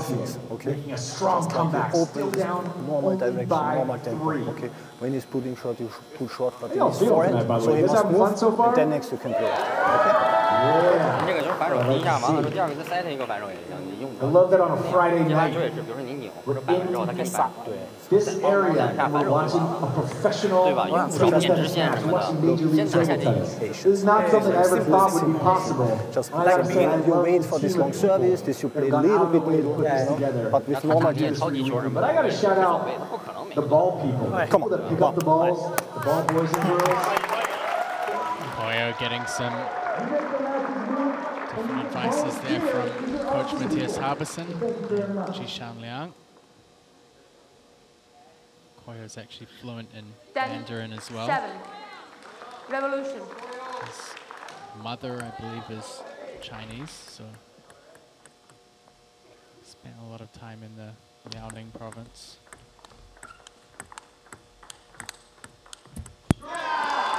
Game one for Koyo Kanamitsu, 11-7. I don't know that many people saw this coming, Matt. I mean, 9 to 1 through the first 10 games. Certainly was reasonable to feel like Princeton had an advantage, but not like this. I mean, I think it just shows how much the Princeton team want this. I think there's a hunger that exists on the Princeton bench that it's just not the. I mean, if you look, the Florida bench right now is very subdued. I mean, yes, they're not in a great position in the match, but I feel like this has been an ongoing thing. And it's not just momentum of results, it's momentum of the team unity and the preparation and the energy on the bench. Again, these teams have just been moving in opposite directions. And, you know, I think Brossier has been a player that's kind of shouldered a lot of that responsibility for the team. I mean, he's not getting energy from his bench right now. He's got to try to create it himself. Yeah, I mean, I asked him about that in, in One, Winter Haven. You know, I said when, when a player like Gorak comes out and that doesn't go too well, and you know maybe another couple of matches don't go too well, how do you handle that? He said, well, One, I can't control what happens with my teammates. The only thing that I can focus on is, is getting my points on the board and trying to do my bit. So he, he's kind of, it almost gives the impression that he's like isolated the rest of the team so it doesn't affect him. two, one.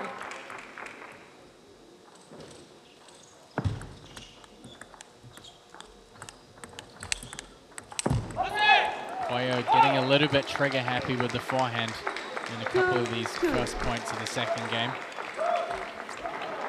The loudest outburst from Brossier after a point all match.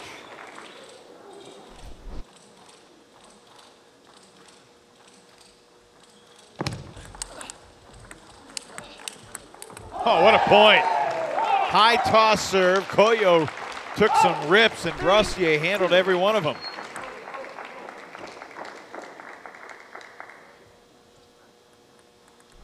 Remember that point. Brossier can use it to create some momentum for his team. Like that. Two, four. I wish some members of the Crocs bench came to their feet after that last point. They're clapping politely over on the Crocs bench, but It's a, a Wimbledon bench. yeah.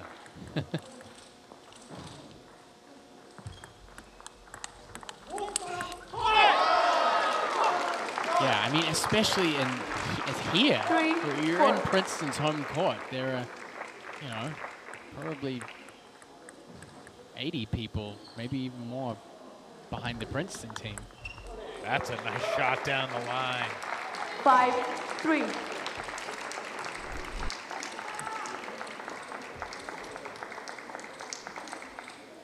Brossier, a month ago in Winter Haven, might have had his best weekend of the entire season, Matt. I mean, both his singles record and his Golden Game performance were impeccable. He was six and three in singles, and in 20 Golden Game points that he played across the three matches, he went 13 and seven.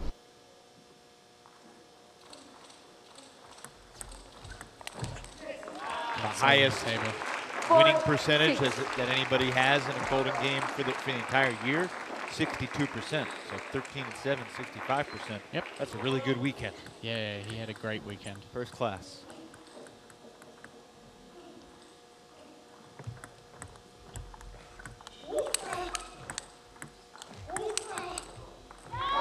Explosive forehands from Koyo. Kind of willing himself to stay focused.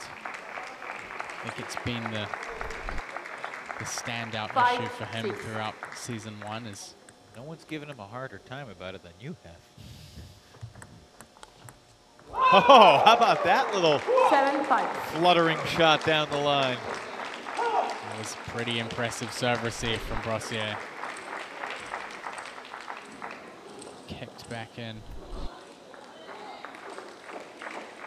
By the way, I, I, I'm not. I, I- my goal isn't to give you a hard time about the hard time you're giving Koyo. You're absolutely right, and I appreciate that you keep mentioning it because you, you, you know, it's, you you want to see his best. He's back within one here in game two. six. I mean, look, we, we, we've said it how many times tonight? This is a really huge situation here for Florida. Yep. They need to deliver. I mean, we've said that so many times, and for the most part, it hasn't worked out yet for the Crocs. Will this moment be any different?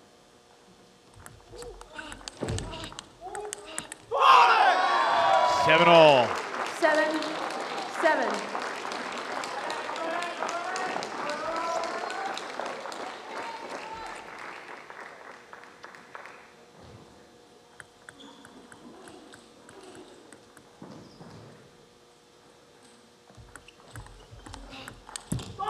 Koyo leads. Eight, seven.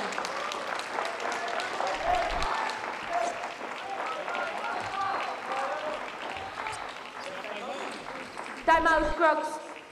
Timeout, Florida. Let's see what the vibe is on the Crocs sideline right now.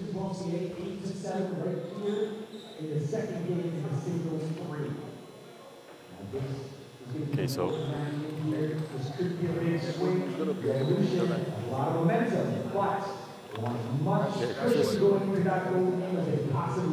just calm. Right, you're like rushing it a little bit. Just calm down. You don't need to go all, all the power every time. Come on.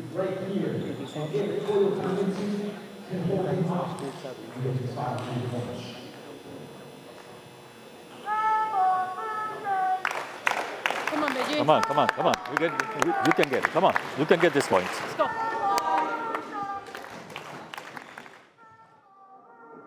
That was one of the least chatty timeouts of the entire MLTT season. I just, the, the, I, for me, the energy's just lacking. I mean, it's, Eight, uh, seven. Revolution. I guess Crocs in stagnant water to some to some point. Eight, Big point though for eight. Brossier. Again, subdued reaction from the Florida bench.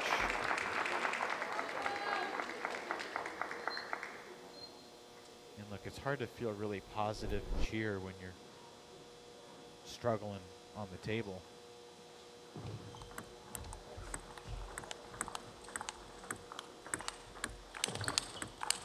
What a point from Benjamin Brossier. And that Gets gets Ek- Gorak and Ekholm to their feet. And look, if you are struggling on the table, the least you can do is bring the energy to try to help Yep. your teammates.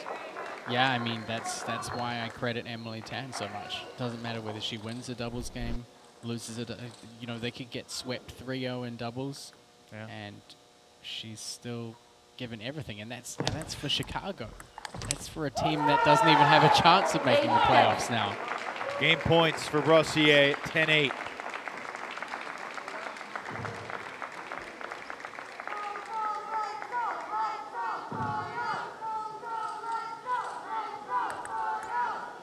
Eight, ten.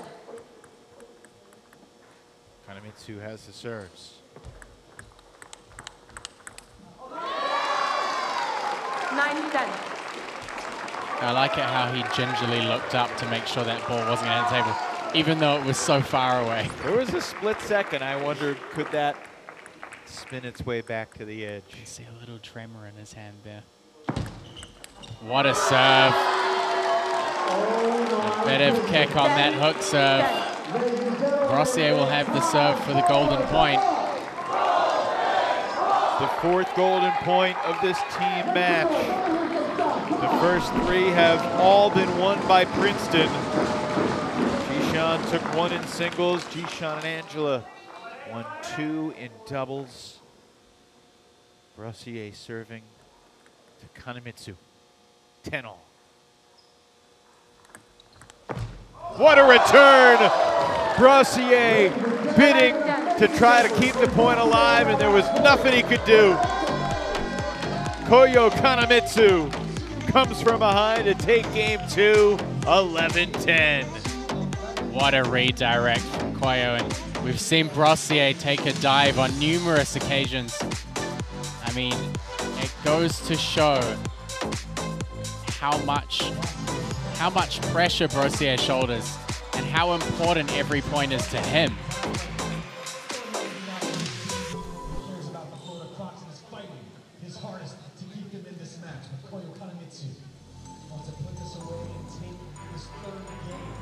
Job is not yet done for Koyo Kanamitsu or the Princeton Revolution with a 10 to 1 lead. There are 10 points still up for grabs. It's hard to fathom Florida possibly winning the next 10 points considering they've lost 10 of 11, but hey, crazier things have happened in the world. But obviously, it is all going Princeton's way right now. 12 points in the lead on the board. And tomorrow, Princeton plays Carolina. Third game. And if you're Princeton, you're not, you're not necessarily thinking about catching Carolina in the standings. That's not impossible, but almost impossible. But just a strong performance against the Gold Rush. I mean, could make it that Florida It's, I mean, it's, ha- yeah, has nothing to play for. I mean, th- there's a world in which Princeton clinches this thing before Sunday if we continue on this pace.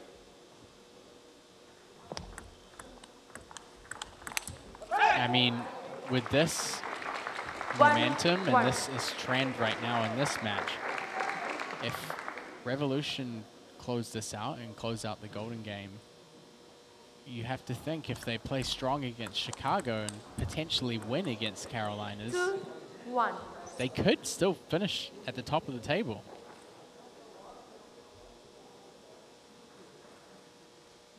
Carolina entered the night needing 17 points to Oh. clinch first place. They got nine of them.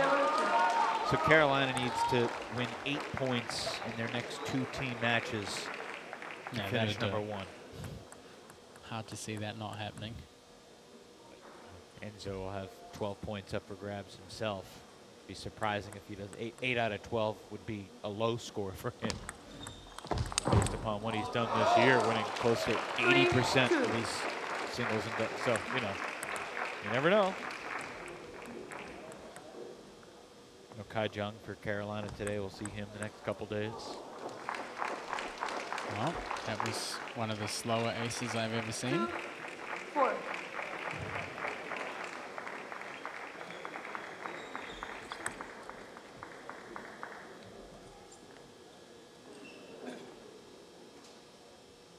Not seen that many aces this year. Brossier wants a new ball.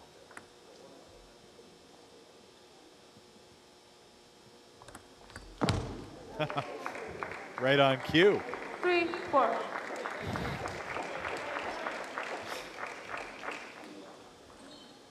Might be the first time all year we've had aces on back-to-back points. Koyo just mistiming that Four. forehand. Four.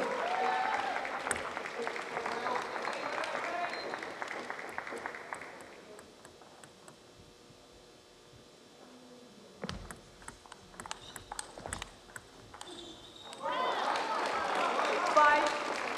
And Four. Assuming Florida doesn't have a crazy comeback in them tonight, Wang Duran should be a competitive match, but Jinxin's a slight favorite, not so solid favorite. I don't know. We'll see. Duran capable of fireworks. But it's going to be really interesting to see what kind of Florida team we get tomorrow. You know, Yeah. Florida has Chicago tomorrow afternoon. What kind of spirit, what kind of fight do they have? Brossier is bringing everything. I mean, look at that.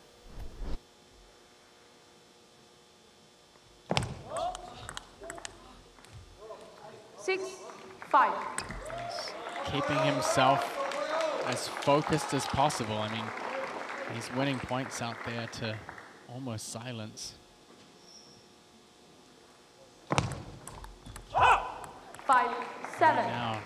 7-5.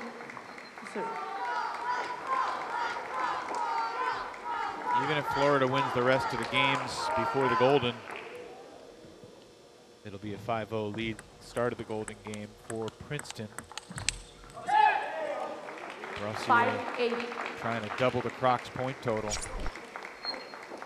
For the season, Matt, teams with a 5-0 lead heading into the Golden game are 31 and 2 in the Golden game. Brossier catches the edge. And a strong oh. third game for Benjamin. Saw one crazy comeback in the Golden game earlier tonight.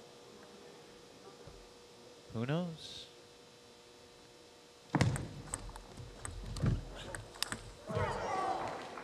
Great retrieve Nine. from Brossier. Six.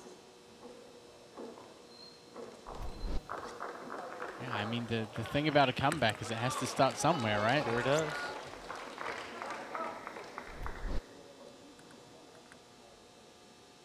There's still a chance for the Crocs if they can win this game, and then if Six, Duran can have ten. a really exceptional performance, they can still go in with a chance of winning the match.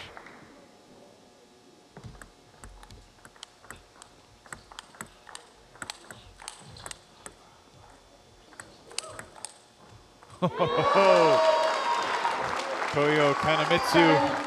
Ten. fights off that game point with a little pizzazz.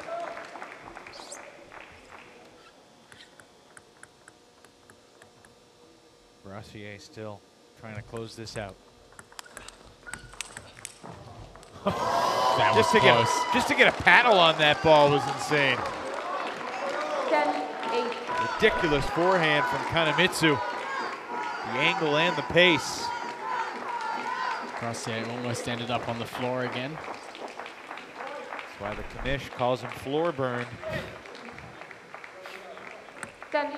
Eight. The serve goes back to Benjamin. And the Frenchman needs just one of these next couple points to earn a point for his team. That'll do it. It's the first one. Eleven. Eight. So that's got to feel pretty good. A cathartic single point for Benjamin Brossier. Koyo unable to complete the sweep. However, two more points for Princeton, and it's 10 to 2 as we head to the final singles match of the evening. 11-8 for Brossier in game three, but Koyo Kanamitsu won that golden point in game two. He won that final three-point sequence. The golden points have gone Princeton's way. I mean, think of it like this, Matt. It's 10 to 2 right now. Hmm. Princeton's 4 0 in golden points. If they were 2 and 2 on golden points, it'd be 8 to 4. Obviously, if Florida had won all those golden points, Yeah. we'd be tied. Yep. If F. F. Let's chat with Koyo Kanamitsu.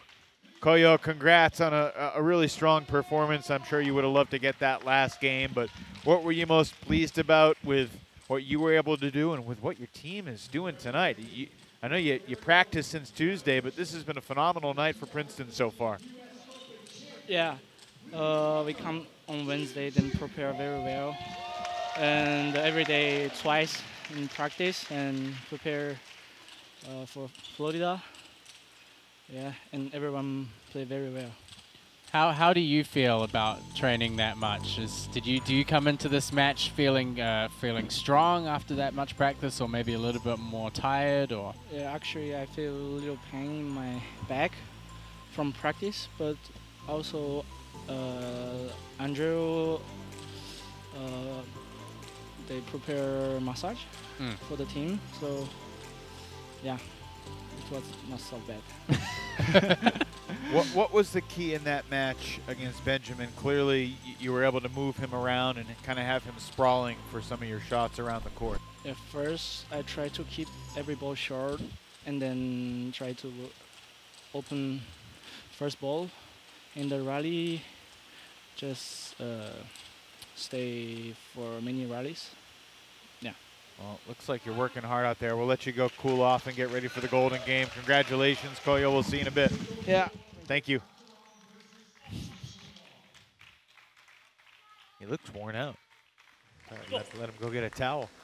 First game, clock All serve, right. Marc Duran versus Jin Jinxin Wang. Zero, zero.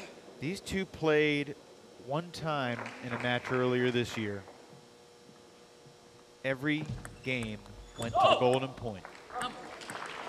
yeah, I remember that. It's fairly early on, I think. It was the first weekend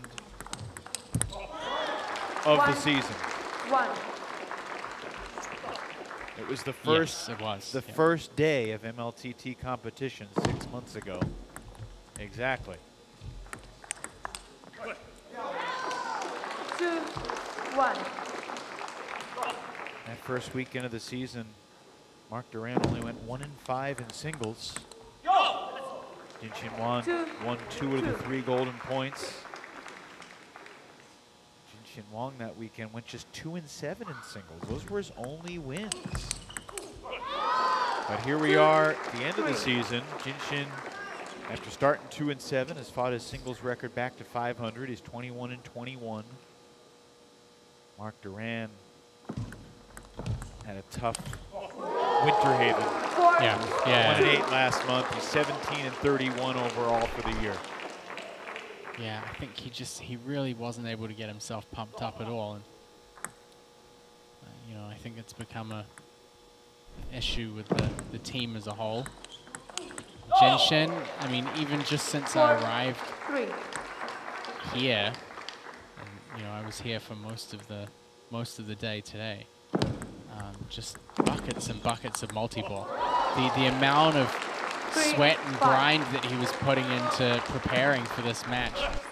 Um, you know, I spoke to Andre, and Andre said they have two sessions a day of practice at Princeton Pong, and then when the players are all done, they have to wait another half an hour because Jinxin's Four, not done. So he's really stepped up in terms of the, the preparation for this weekend.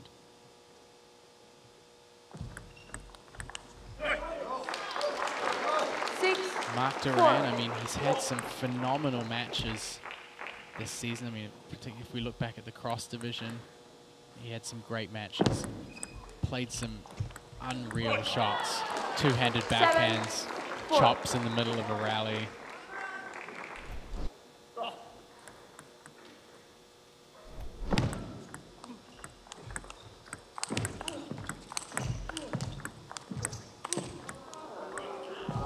Oh, Marc Duran with some ridiculous returns to keep that point alive, but Jin Shin Wong changing the angle and forcing Duran sprawling to win the point. Remarkable stuff from both players there. And just a cool, soft touch from Wang to finish the point. Five, eight. Feel like Duran's got pretty good energy so far. It's just he's been outplayed.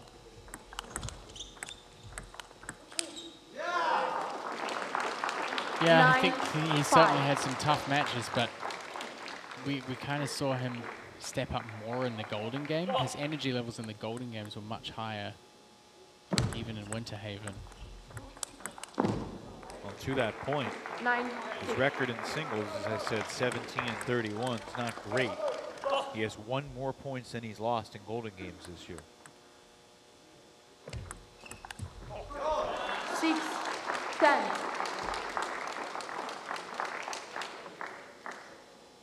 And Jinxin Wang, for that matter, also has one more points than he's lost in Golden Games. Oh, he missed it. Jin Shin Wong takes game one. That clinches the match victory, there are still eight gigantic points up for grabs. Princeton began the night with a three-point lead after taking 11 of the third, first 13 points this evening. That lead has widened considerably.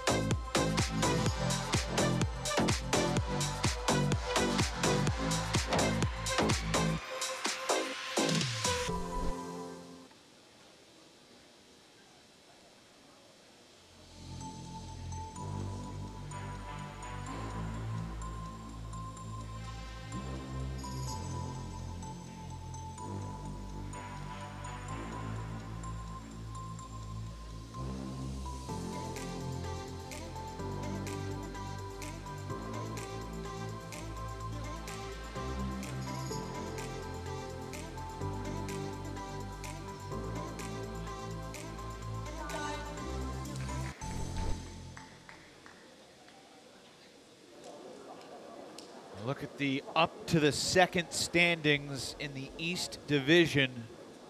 Chicago did upset Carolina earlier tonight.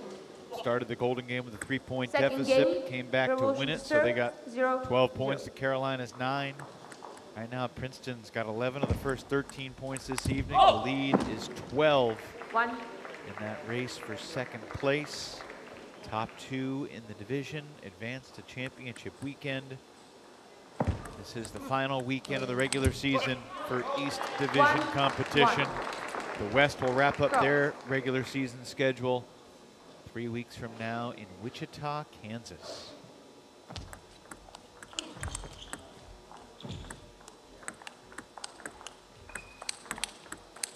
What are you seeing here, Matt? Because from my perspective, Marc Duran's taking some good swings, hitting some good shots. Jinxin Wang just has all the answers. I think he's just in really good shape. I think he's he's. Oh my! I mean, you, you talked about him starting Three, off, a one. you know, starting off a little bit slower in the the first weekend. Um, we've had conversations with him. We've had conversations with uh, Matthias Harbison about him taking a team that he saw potential in, maybe not in the first week or in the second week, but in the season overall. And, and Jinxin, he, he just he knew that if Jinxin put the hours into practice, then he could deliver for the team, and he has. Oh, Chin Shin Wong is on fire right now. Every possible angle. Mind-blowing stuff.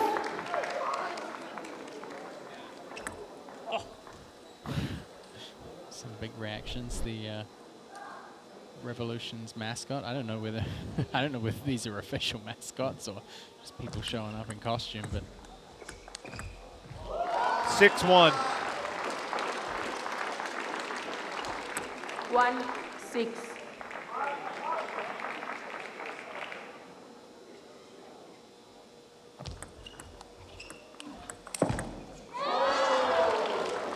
Seven, one. Mark Duran's positive energy, vibes that were oozing in the first game, they have been significantly diminished, although that's a good forehand winner over the table. Long Seven, road ahead, though, for Duran as he continues to try to hop around. Coach Frank Arias looking on.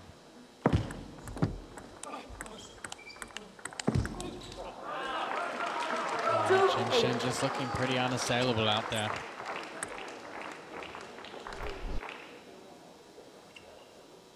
This is kind of the, the level of Jinxin that won the 2015 US Open. Yes, indeed. So you're talking about a, uh, a revival of form eight years in the making.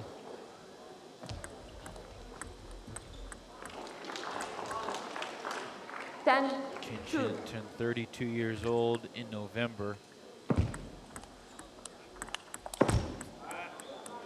Ten, He's gradually gotten better throughout the season.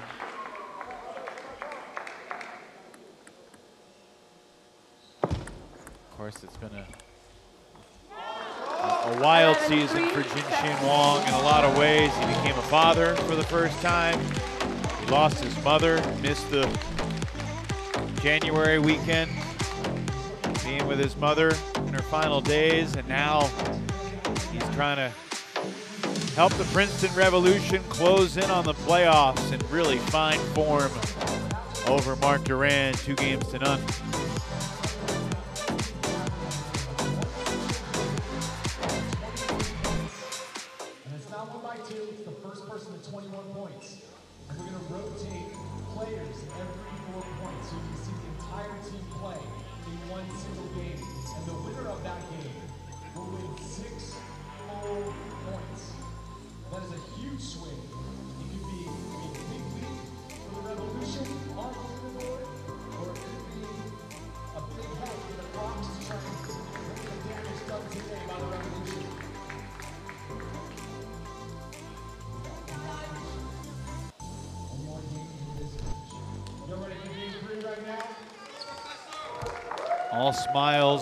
Princeton owners. Giving cheers to the guy they call Third the game. professor. Crocs to serve. Zero. Shin zero. Wong has his team in front 12 to 2. One, zero. Now, Princeton's going to get the W in the win column. But They're still seven points up for grabs, and it, it's no Zero, two. exaggeration, Matt. At this point, Florida's season might be riding on this this Golden Game here. I mean, let's say they let's say Jinxin three. Wong completes the sleep the sweep, and it's 13 to two.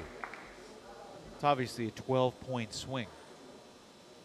Whether we finish 13 to eight or 19 to two. Mm. And there's just Four, not a whole lot of time for Florida to make up that gap. If they lose 19 to 2, they're down 20 points Yeah. going yeah, into the final two days of the season. And they got Carolina, who's not going to let up against them. Yeah, yeah and, and I feel like anything that the Crocs Five, can do against zero. the Chicago Wind, Change. the Revolution can probably do it as well. So That's right. are they going to have a significantly different result against the Wind? This was their Princeton? chance to, Probably not. to Yeah, hand Princeton losses. Yeah. They haven't been able to do it. Now, Duran's off to a fantastic start here in game three. Zero. See if Wang can regain his focus. Let.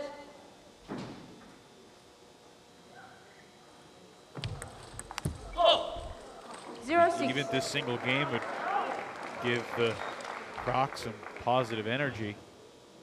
Neither player going to the towel at oh. 6-0. One. Six,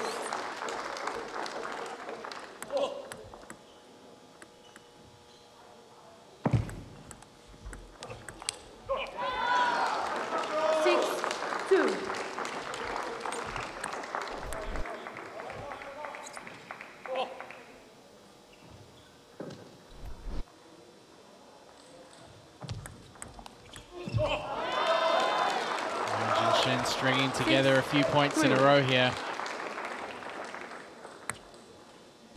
Interesting to see what, if anything, Frank Arias does in terms of the golden game order to try to give his team a spark. If Marc Duran can finish off this game, I mean, I think you got to put Duran and Brossier in the first two spots just to try to use the, the little success they had as building seven. blocks early in the golden game. You're going to be down 5 nothing. You got to get off to a good start.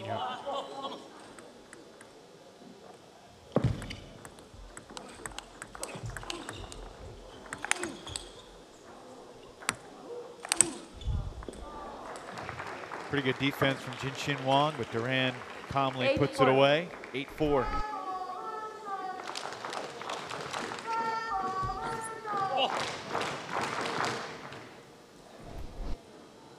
Final West Division event, April 5th through the 7th in Wichita, Kansas. And then three weeks after that, we will be in Chicago to decide the first ever Major League Nine, Table four. Tennis champion.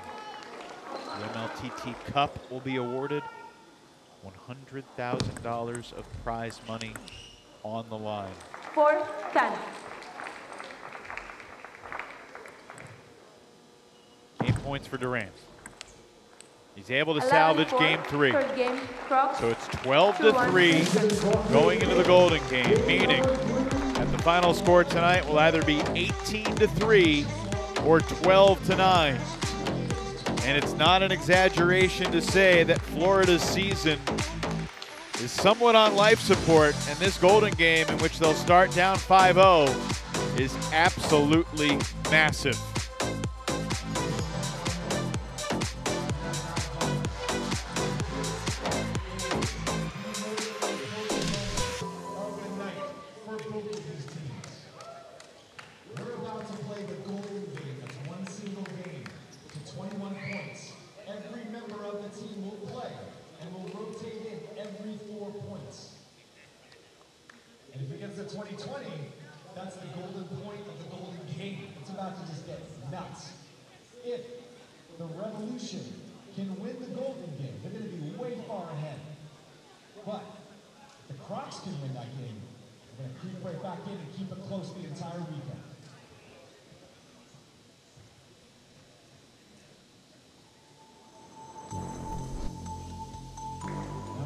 As one of the biggest matches of the entire season, Florida and Princeton began the evening separated by just three points in the race for the two spot in the East Division.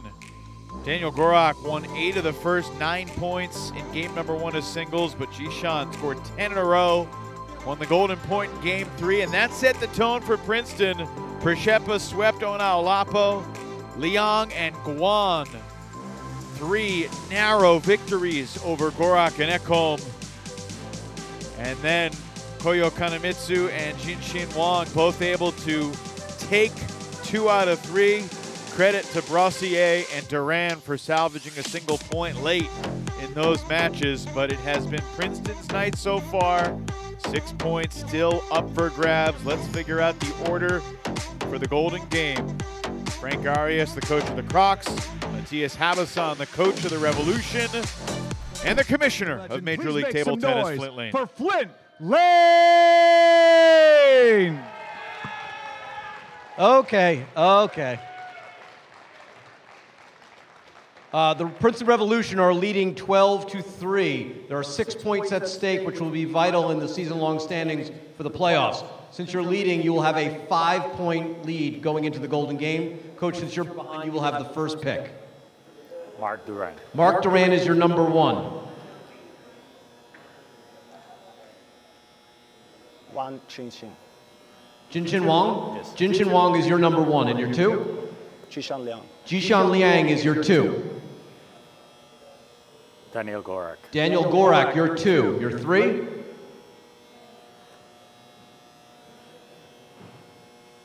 Benjamin Brossier. Benjamin Brossier is your three. Koyo. Koyo Kanamitsu is your three, your four. Yevgen. Yevgen Pryshchepa is your four. Matilda Eko. Matilda is your four, making Ojo your five, making Angela your five. Good luck, coaches. Good luck.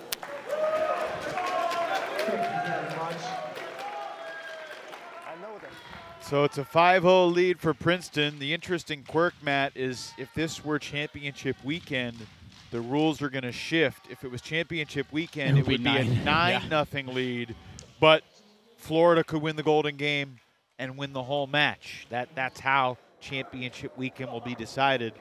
MLTT staff deciding to make the Golden Game matter no matter what. Obviously, it matters tonight, not determining who's going to go home a winner in terms of earning more points. Princeton will build on its lead coming into the night. But it'll either be a 15-point edition or a three-point edition. 12-point swing up for grabs right now. Can Florida become the third team in the league this year to erase a 5-0 deficit in a Golden Game and come back and win? Let's find out. Good start for Marc Duran. Different demeanor in the Golden Game. Marc Duran just turning it up.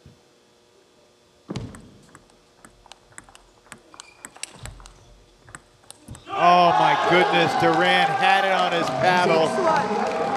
That's a stunning miss. He makes that shot, what, 9 out of 10 times? 49 out of 50 times? And he missed the next one as well, 7-1 Princeton.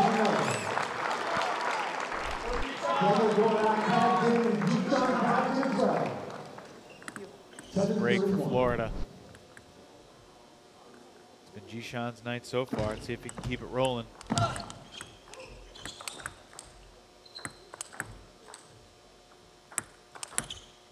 Gorak takes the opening point. Good change from Gorak to put the ball down the middle.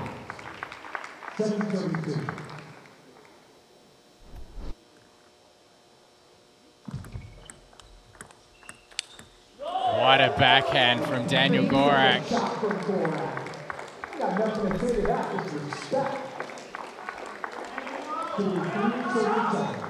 they serve out of order here? Isn't the team that trailing supposed to serve first? Mm, I don't know.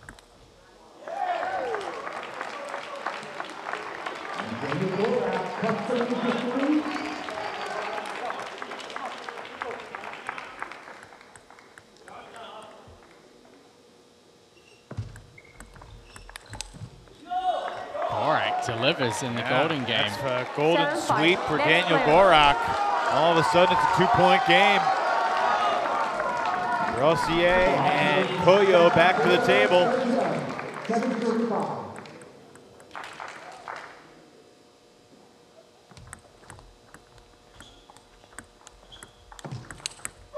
What a counter from Koyo Kanamitsu.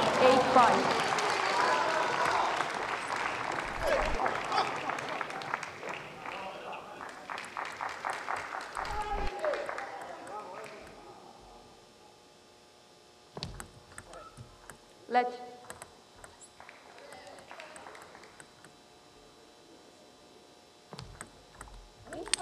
Oh, Koyo Kanamitsu, large and in charge.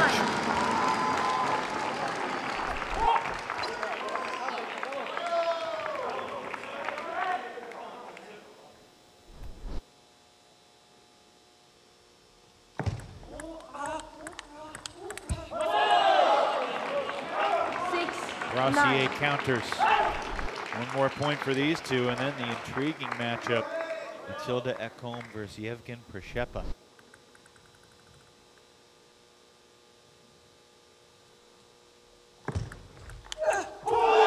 What a pickup. Koyo Kanamitsu on the aggressive. You can see on the mic in the background, Ryan Willard, good friend of mine, obviously, Adam Bobrow at the Singapore Smash. Great to have Ryan with us. He actually went to school here in Princeton, so a bit of a homecoming for him. Pryshchepa versus Ekholm. 11, Simple but strong from Yevgen Pryshchepa. This is a tough style matchup for Ekholm. six, 12. Pryshchepa handles business on his serve. Ekholm cannot do the same. This might get away from the Crocs here quick.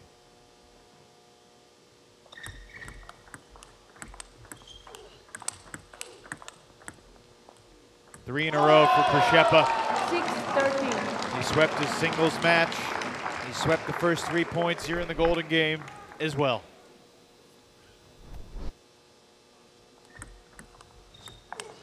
But Ekholm stops seven. the sweep. Big forehand. Now, Ojo against Angela Guan. This is going to be very interesting.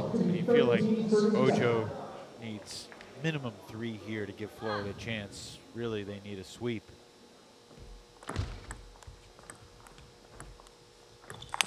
Guan takes the first point. See, Ojo just kind of froze up. I mean, he's a player that has so much power against backspin, but goes on the defensive against the defender. Much more aggressive return of serve there. Yeah, it has to be. Break.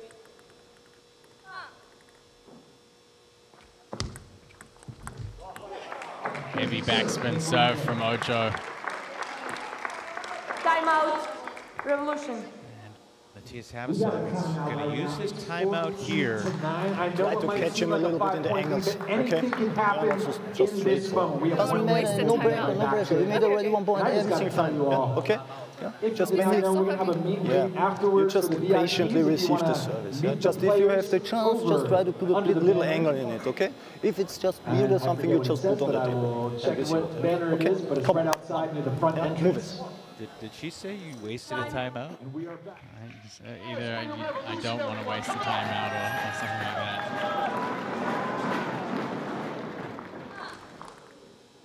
A little surprised he used it there.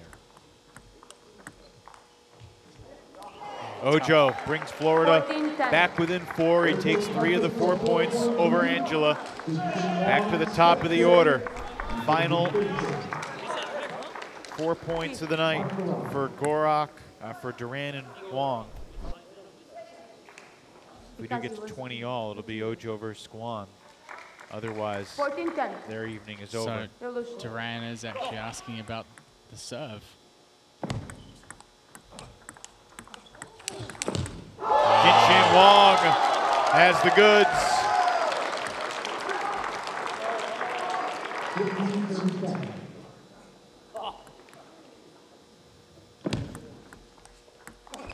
Wow. He has just been locked in from the start, Matt.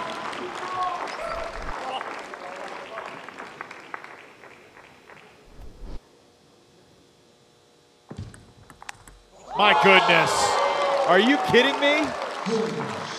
Yes, we made a whole compilation of these shots from Winter Haven.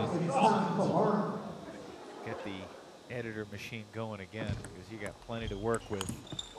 A golden sweep for Jinxin Wang. Duran just misfiring. Look of those- resignation on the yeah. face of the Crocs. Yeah, I mean, some of those shots are set up for him, but like that, that he can't miss that shot. Feels like the Crocs last stand. Gorak got a golden sweep last time, and he starts off with an impressive backhand flick. 11. Gorak's taken five straight points from Jishan here in the Golden Game. And his teammates have not helped him out enough.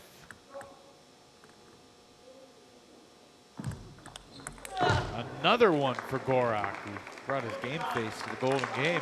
12, 11. 18.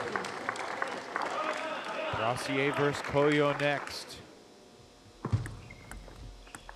Leon on the board in the Golden. Princeton within two. Uh, finishing this thing up. Net Gorak ball. long reverse, but net ball and just a sigh. from Gorak. Koyo Kanamitsu subduing a smile there, knowing that he has the chance to finish this big match for the Princeton Revolution.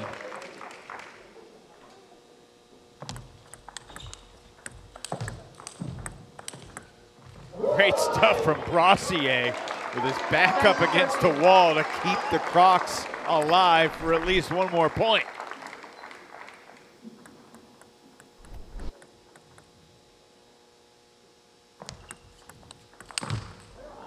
Fights off two. 14 20. Got to settle himself a little bit. Brossier could win these next two points. It would be Pryshchepa versus Ekholm. Uphill battle for the Crocs, but you never know. Can he get there? Oh, he's taking the first three.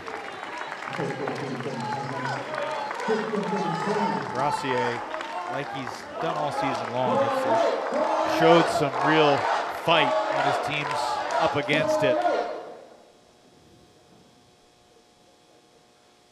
Still match point for the Revolution. And that'll do it. the Revolution here in New Jersey for all to see. Princeton destroys the Florida Crocs 18 to 3. Uh, is just getting flattened out there. Princeton owner Andre Liu in true fashion center barrier flying vertically. A huge win for the Princeton Revolution. They felt confident going into it. They knew their preparation was there. I don't know if they expected a result this one-sided. They began the weekend with a three-point lead over the Crocs. That lead has now ballooned all the way to 18 points with just two matches left in the regular season. Tomorrow night in prime time, Princeton will take on the first place Carolina Gold Rush. They got the better of the Gold Rush a month ago in Winter Haven. Who knows? It could be a potential championship game preview. Florida Crocs need to regroup in a major way. What a performance from Koyo Kanamitsu, Jinxin Wang, Yevgen Pryshchepa. And Jishan Liang did not have a great golden game, but over the course of the evening, he, he won five points for his team in singles and doubles. And uh, just a really impressive all-around performance from the Princeton Revolution in front of these fans. We've talked about it, Matt. At times this year, teams have struggled playing at home, but Princeton, not one of them. Not tonight, Evan, not tonight. Hmm. A tough order, I mean, especially for Angela as well, to be in that pressure seat up against Ojo.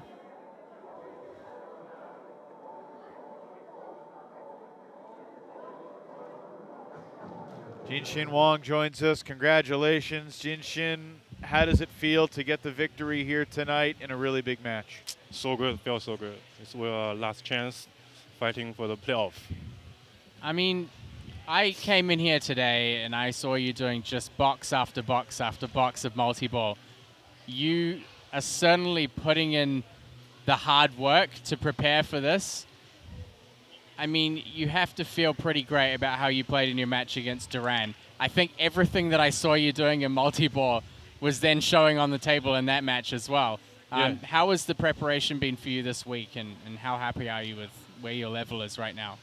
Mm, actually, the, I'm doing a lot of multi-ball because I know it's a more rally next match with against Du- Duran. So maybe he like fishing or hit back something. Yeah, yeah, yeah. No surprise for me. Just um, be ready. Always be ready. What's the mindset, Jinxin, going into the rest of this weekend? Obviously, you've built a cushion, but the job is not yet done. Yeah, we have two more matches. Yeah, we need to win two more matches, guarantee for the playoff. And one more question from me. Um, we kind of talked about your progression through MLTT. Obviously, you're coaching a lot, and this you've you've been training more for, and your level has gone up throughout the season. How do you feel about your playing level now compared to you know even 2015, like when you, when you won the U.S. Open? Because if I look at that match, the thing that I said during that match is it just kind of reminded me of that level that you were playing at then. I think mentally um, improved uh, p- compared with uh, 2015. Actually, after register MLTT, I'm working a lot mm, for myself, not only coaching. Yeah, So yeah. first lose lot of weight, and the morning, if no lesson, I just practice with mm, friend or teammate, and I need to keep my level. We need to win. Yeah. Jinxin, congratulations on a great night. Get some rest. We'll see you tomorrow. Thank you. See you tomorrow. You can hand that headset off to your coach, Matthias Habasson. Got to be pleased with the fan support here in Lawrenceville, New Jersey, on the campus of Rider University. What a night for the Revolution. Matthias joins us now. Congratulations. What what a performance from your team. I imagine that you, you thought you could win every point, but eight, I mean 18 to 3 over a team like Florida. Yeah. Th- th- that's just absolutely phenomenal. What stood out most to you about the mindset with which your team came into the night? I guess it was the spectators today. they cheered for us like crazy. And if you analyze a little bit afterwards, I mean, I think there was five or six golden points, Yeah. and I think all of them went to us, if I'm not wrong. So, I mean, everything went for us today. This is normally not possible, but today, in these crucial moments, it was really to- totally for us. Yes. Um, Okay, but additional to that, I must say we were really well prepared this time because we came earlier this time. It was possible because it's our like home match almost, and we could uh, practice uh, two two and a half days in advance. And yeah, since uh, uh, two days, I, I can let the players just be like they are because they're on, already in a flow. And yeah, it's a very very good and nice situation for me. When you brought the team together in the middle of the week, what was your message to the team about getting ready for this weekend? I, I didn't have a special mes- message. My job was just because they already came in good shape, and my job was just to keep them in motion, to keep them moving, to keep them focusing on their on their strengths, and that's what they did in the practice. And yeah, uh, actually it went uh, really well because it was not that uh, Crocs played bad. No, it was really they, they, they were really playing well, and uh, uh, but my team just managed to to yeah to enforce a little bit the, the best uh, uh, shots and stuff like that, and yeah, so it went for us. And given given uh, the preparation that you guys put in, I mean, I was here most of the morning and into the early afternoon and saw a glimpse of, of what's probably been happening for the last few days. Um, is your intention after this result to let the team players rest a little bit tomorrow, or do you think you'll have them back in here practicing? What what mentality do you have coming in? Do you think push them a little bit more, or rest is more important right now? Uh, definitely, we will practice. um, there is some individualism, of course, in this sport, especially, and there are some players who need a little bit more, some a little bit rest, especially in a situation like this where you have a, a relatively long weekend of play. Um, but uh, definitely, we will do something in the in the in the morning and keep this like motion because. Uh, many times it's like this. I mean, you you, you already um, yeah noticed that we practice a lot. Today the day was very long and very intense, and uh, I'm sure if I if we don't move. Uh, tomorrow morning we Yeah, shut you'll down a little like bit. No, so- concrete. exactly, yeah. So we just maintain the way we are doing the last months, and yes. Before we let you go, I want to ask you about the doubles. Clearly, that's been an area of struggle for the Revolution this season. You had never beaten Florida in a doubles match. We've seen Yevgen play with Angela. We've seen Jishan play with Angela. What went into the decision to use Jishan today, and how proud are you of the job they were able to do? Honestly, that was just feeling. yeah, it's always 50-50 between all of them, and then I watch uh, how the dynamic is in the practice, how they are doing on specific shots, and uh, when the when one is playing the shots better, which are uh, important in the doubles, then I choose this uh, combination. Congratulations, Matthias, on a fantastic night for the Revolution. You Yeah. came in with a three-point lead. You've now got an 18-point lead, but obviously the job is not yet done, so we'll let you get some rest, and we'll see you for the big showdown with Carolina tomorrow night. You are right. It's not over yet, so we just try to keep everything like it was. Thanks for the Thank you perspective so much. as always. We'll see you tomorrow. Thank you. See you. Quick look at the standings before we sign off. Uh, it's hard to believe this Princeton team started one and six. They were uh, in Chicago. You and I were together for the first time. They were one and six after that Friday night. Here we are, four months later. They have won 11 of their last 13 matches, 11 of their last 13 Golden Games, and they are in position to be back in Chicago in a month and a half for a championship. Yeah, I mean, look at the standings. I mean, you see the doubles records of Revolution and Crocs are almost are reversed. The Golden Game's pretty similar. The, the big change that's come from the Princeton Revolution is the performance in singles. Um, being able to bring their best lineup, the levels of the players going up, the camaraderie, the energy that's coming from the bench, the preparation, everything is going in the Princeton Revolution's favor so far. What can you say? I mean, what a performance tonight. Yeah, the, the Florida Crocs are still just kind of sitting aimlessly on their bench, looking around. It'll be interesting to see what kind of fight and spirit they've got tomorrow. See if they can battle their way back. They've got an 18-point deficit to overcome and only two matches with which to do it. Princeton very much in control of their destiny now. The Revolution behind Pryshchepa, Koyo, Jinxin, Angela, and Jishan win it 21-15 in the Golden, 18-3 to close out a fun Friday night in Jersey. Good night, everybody.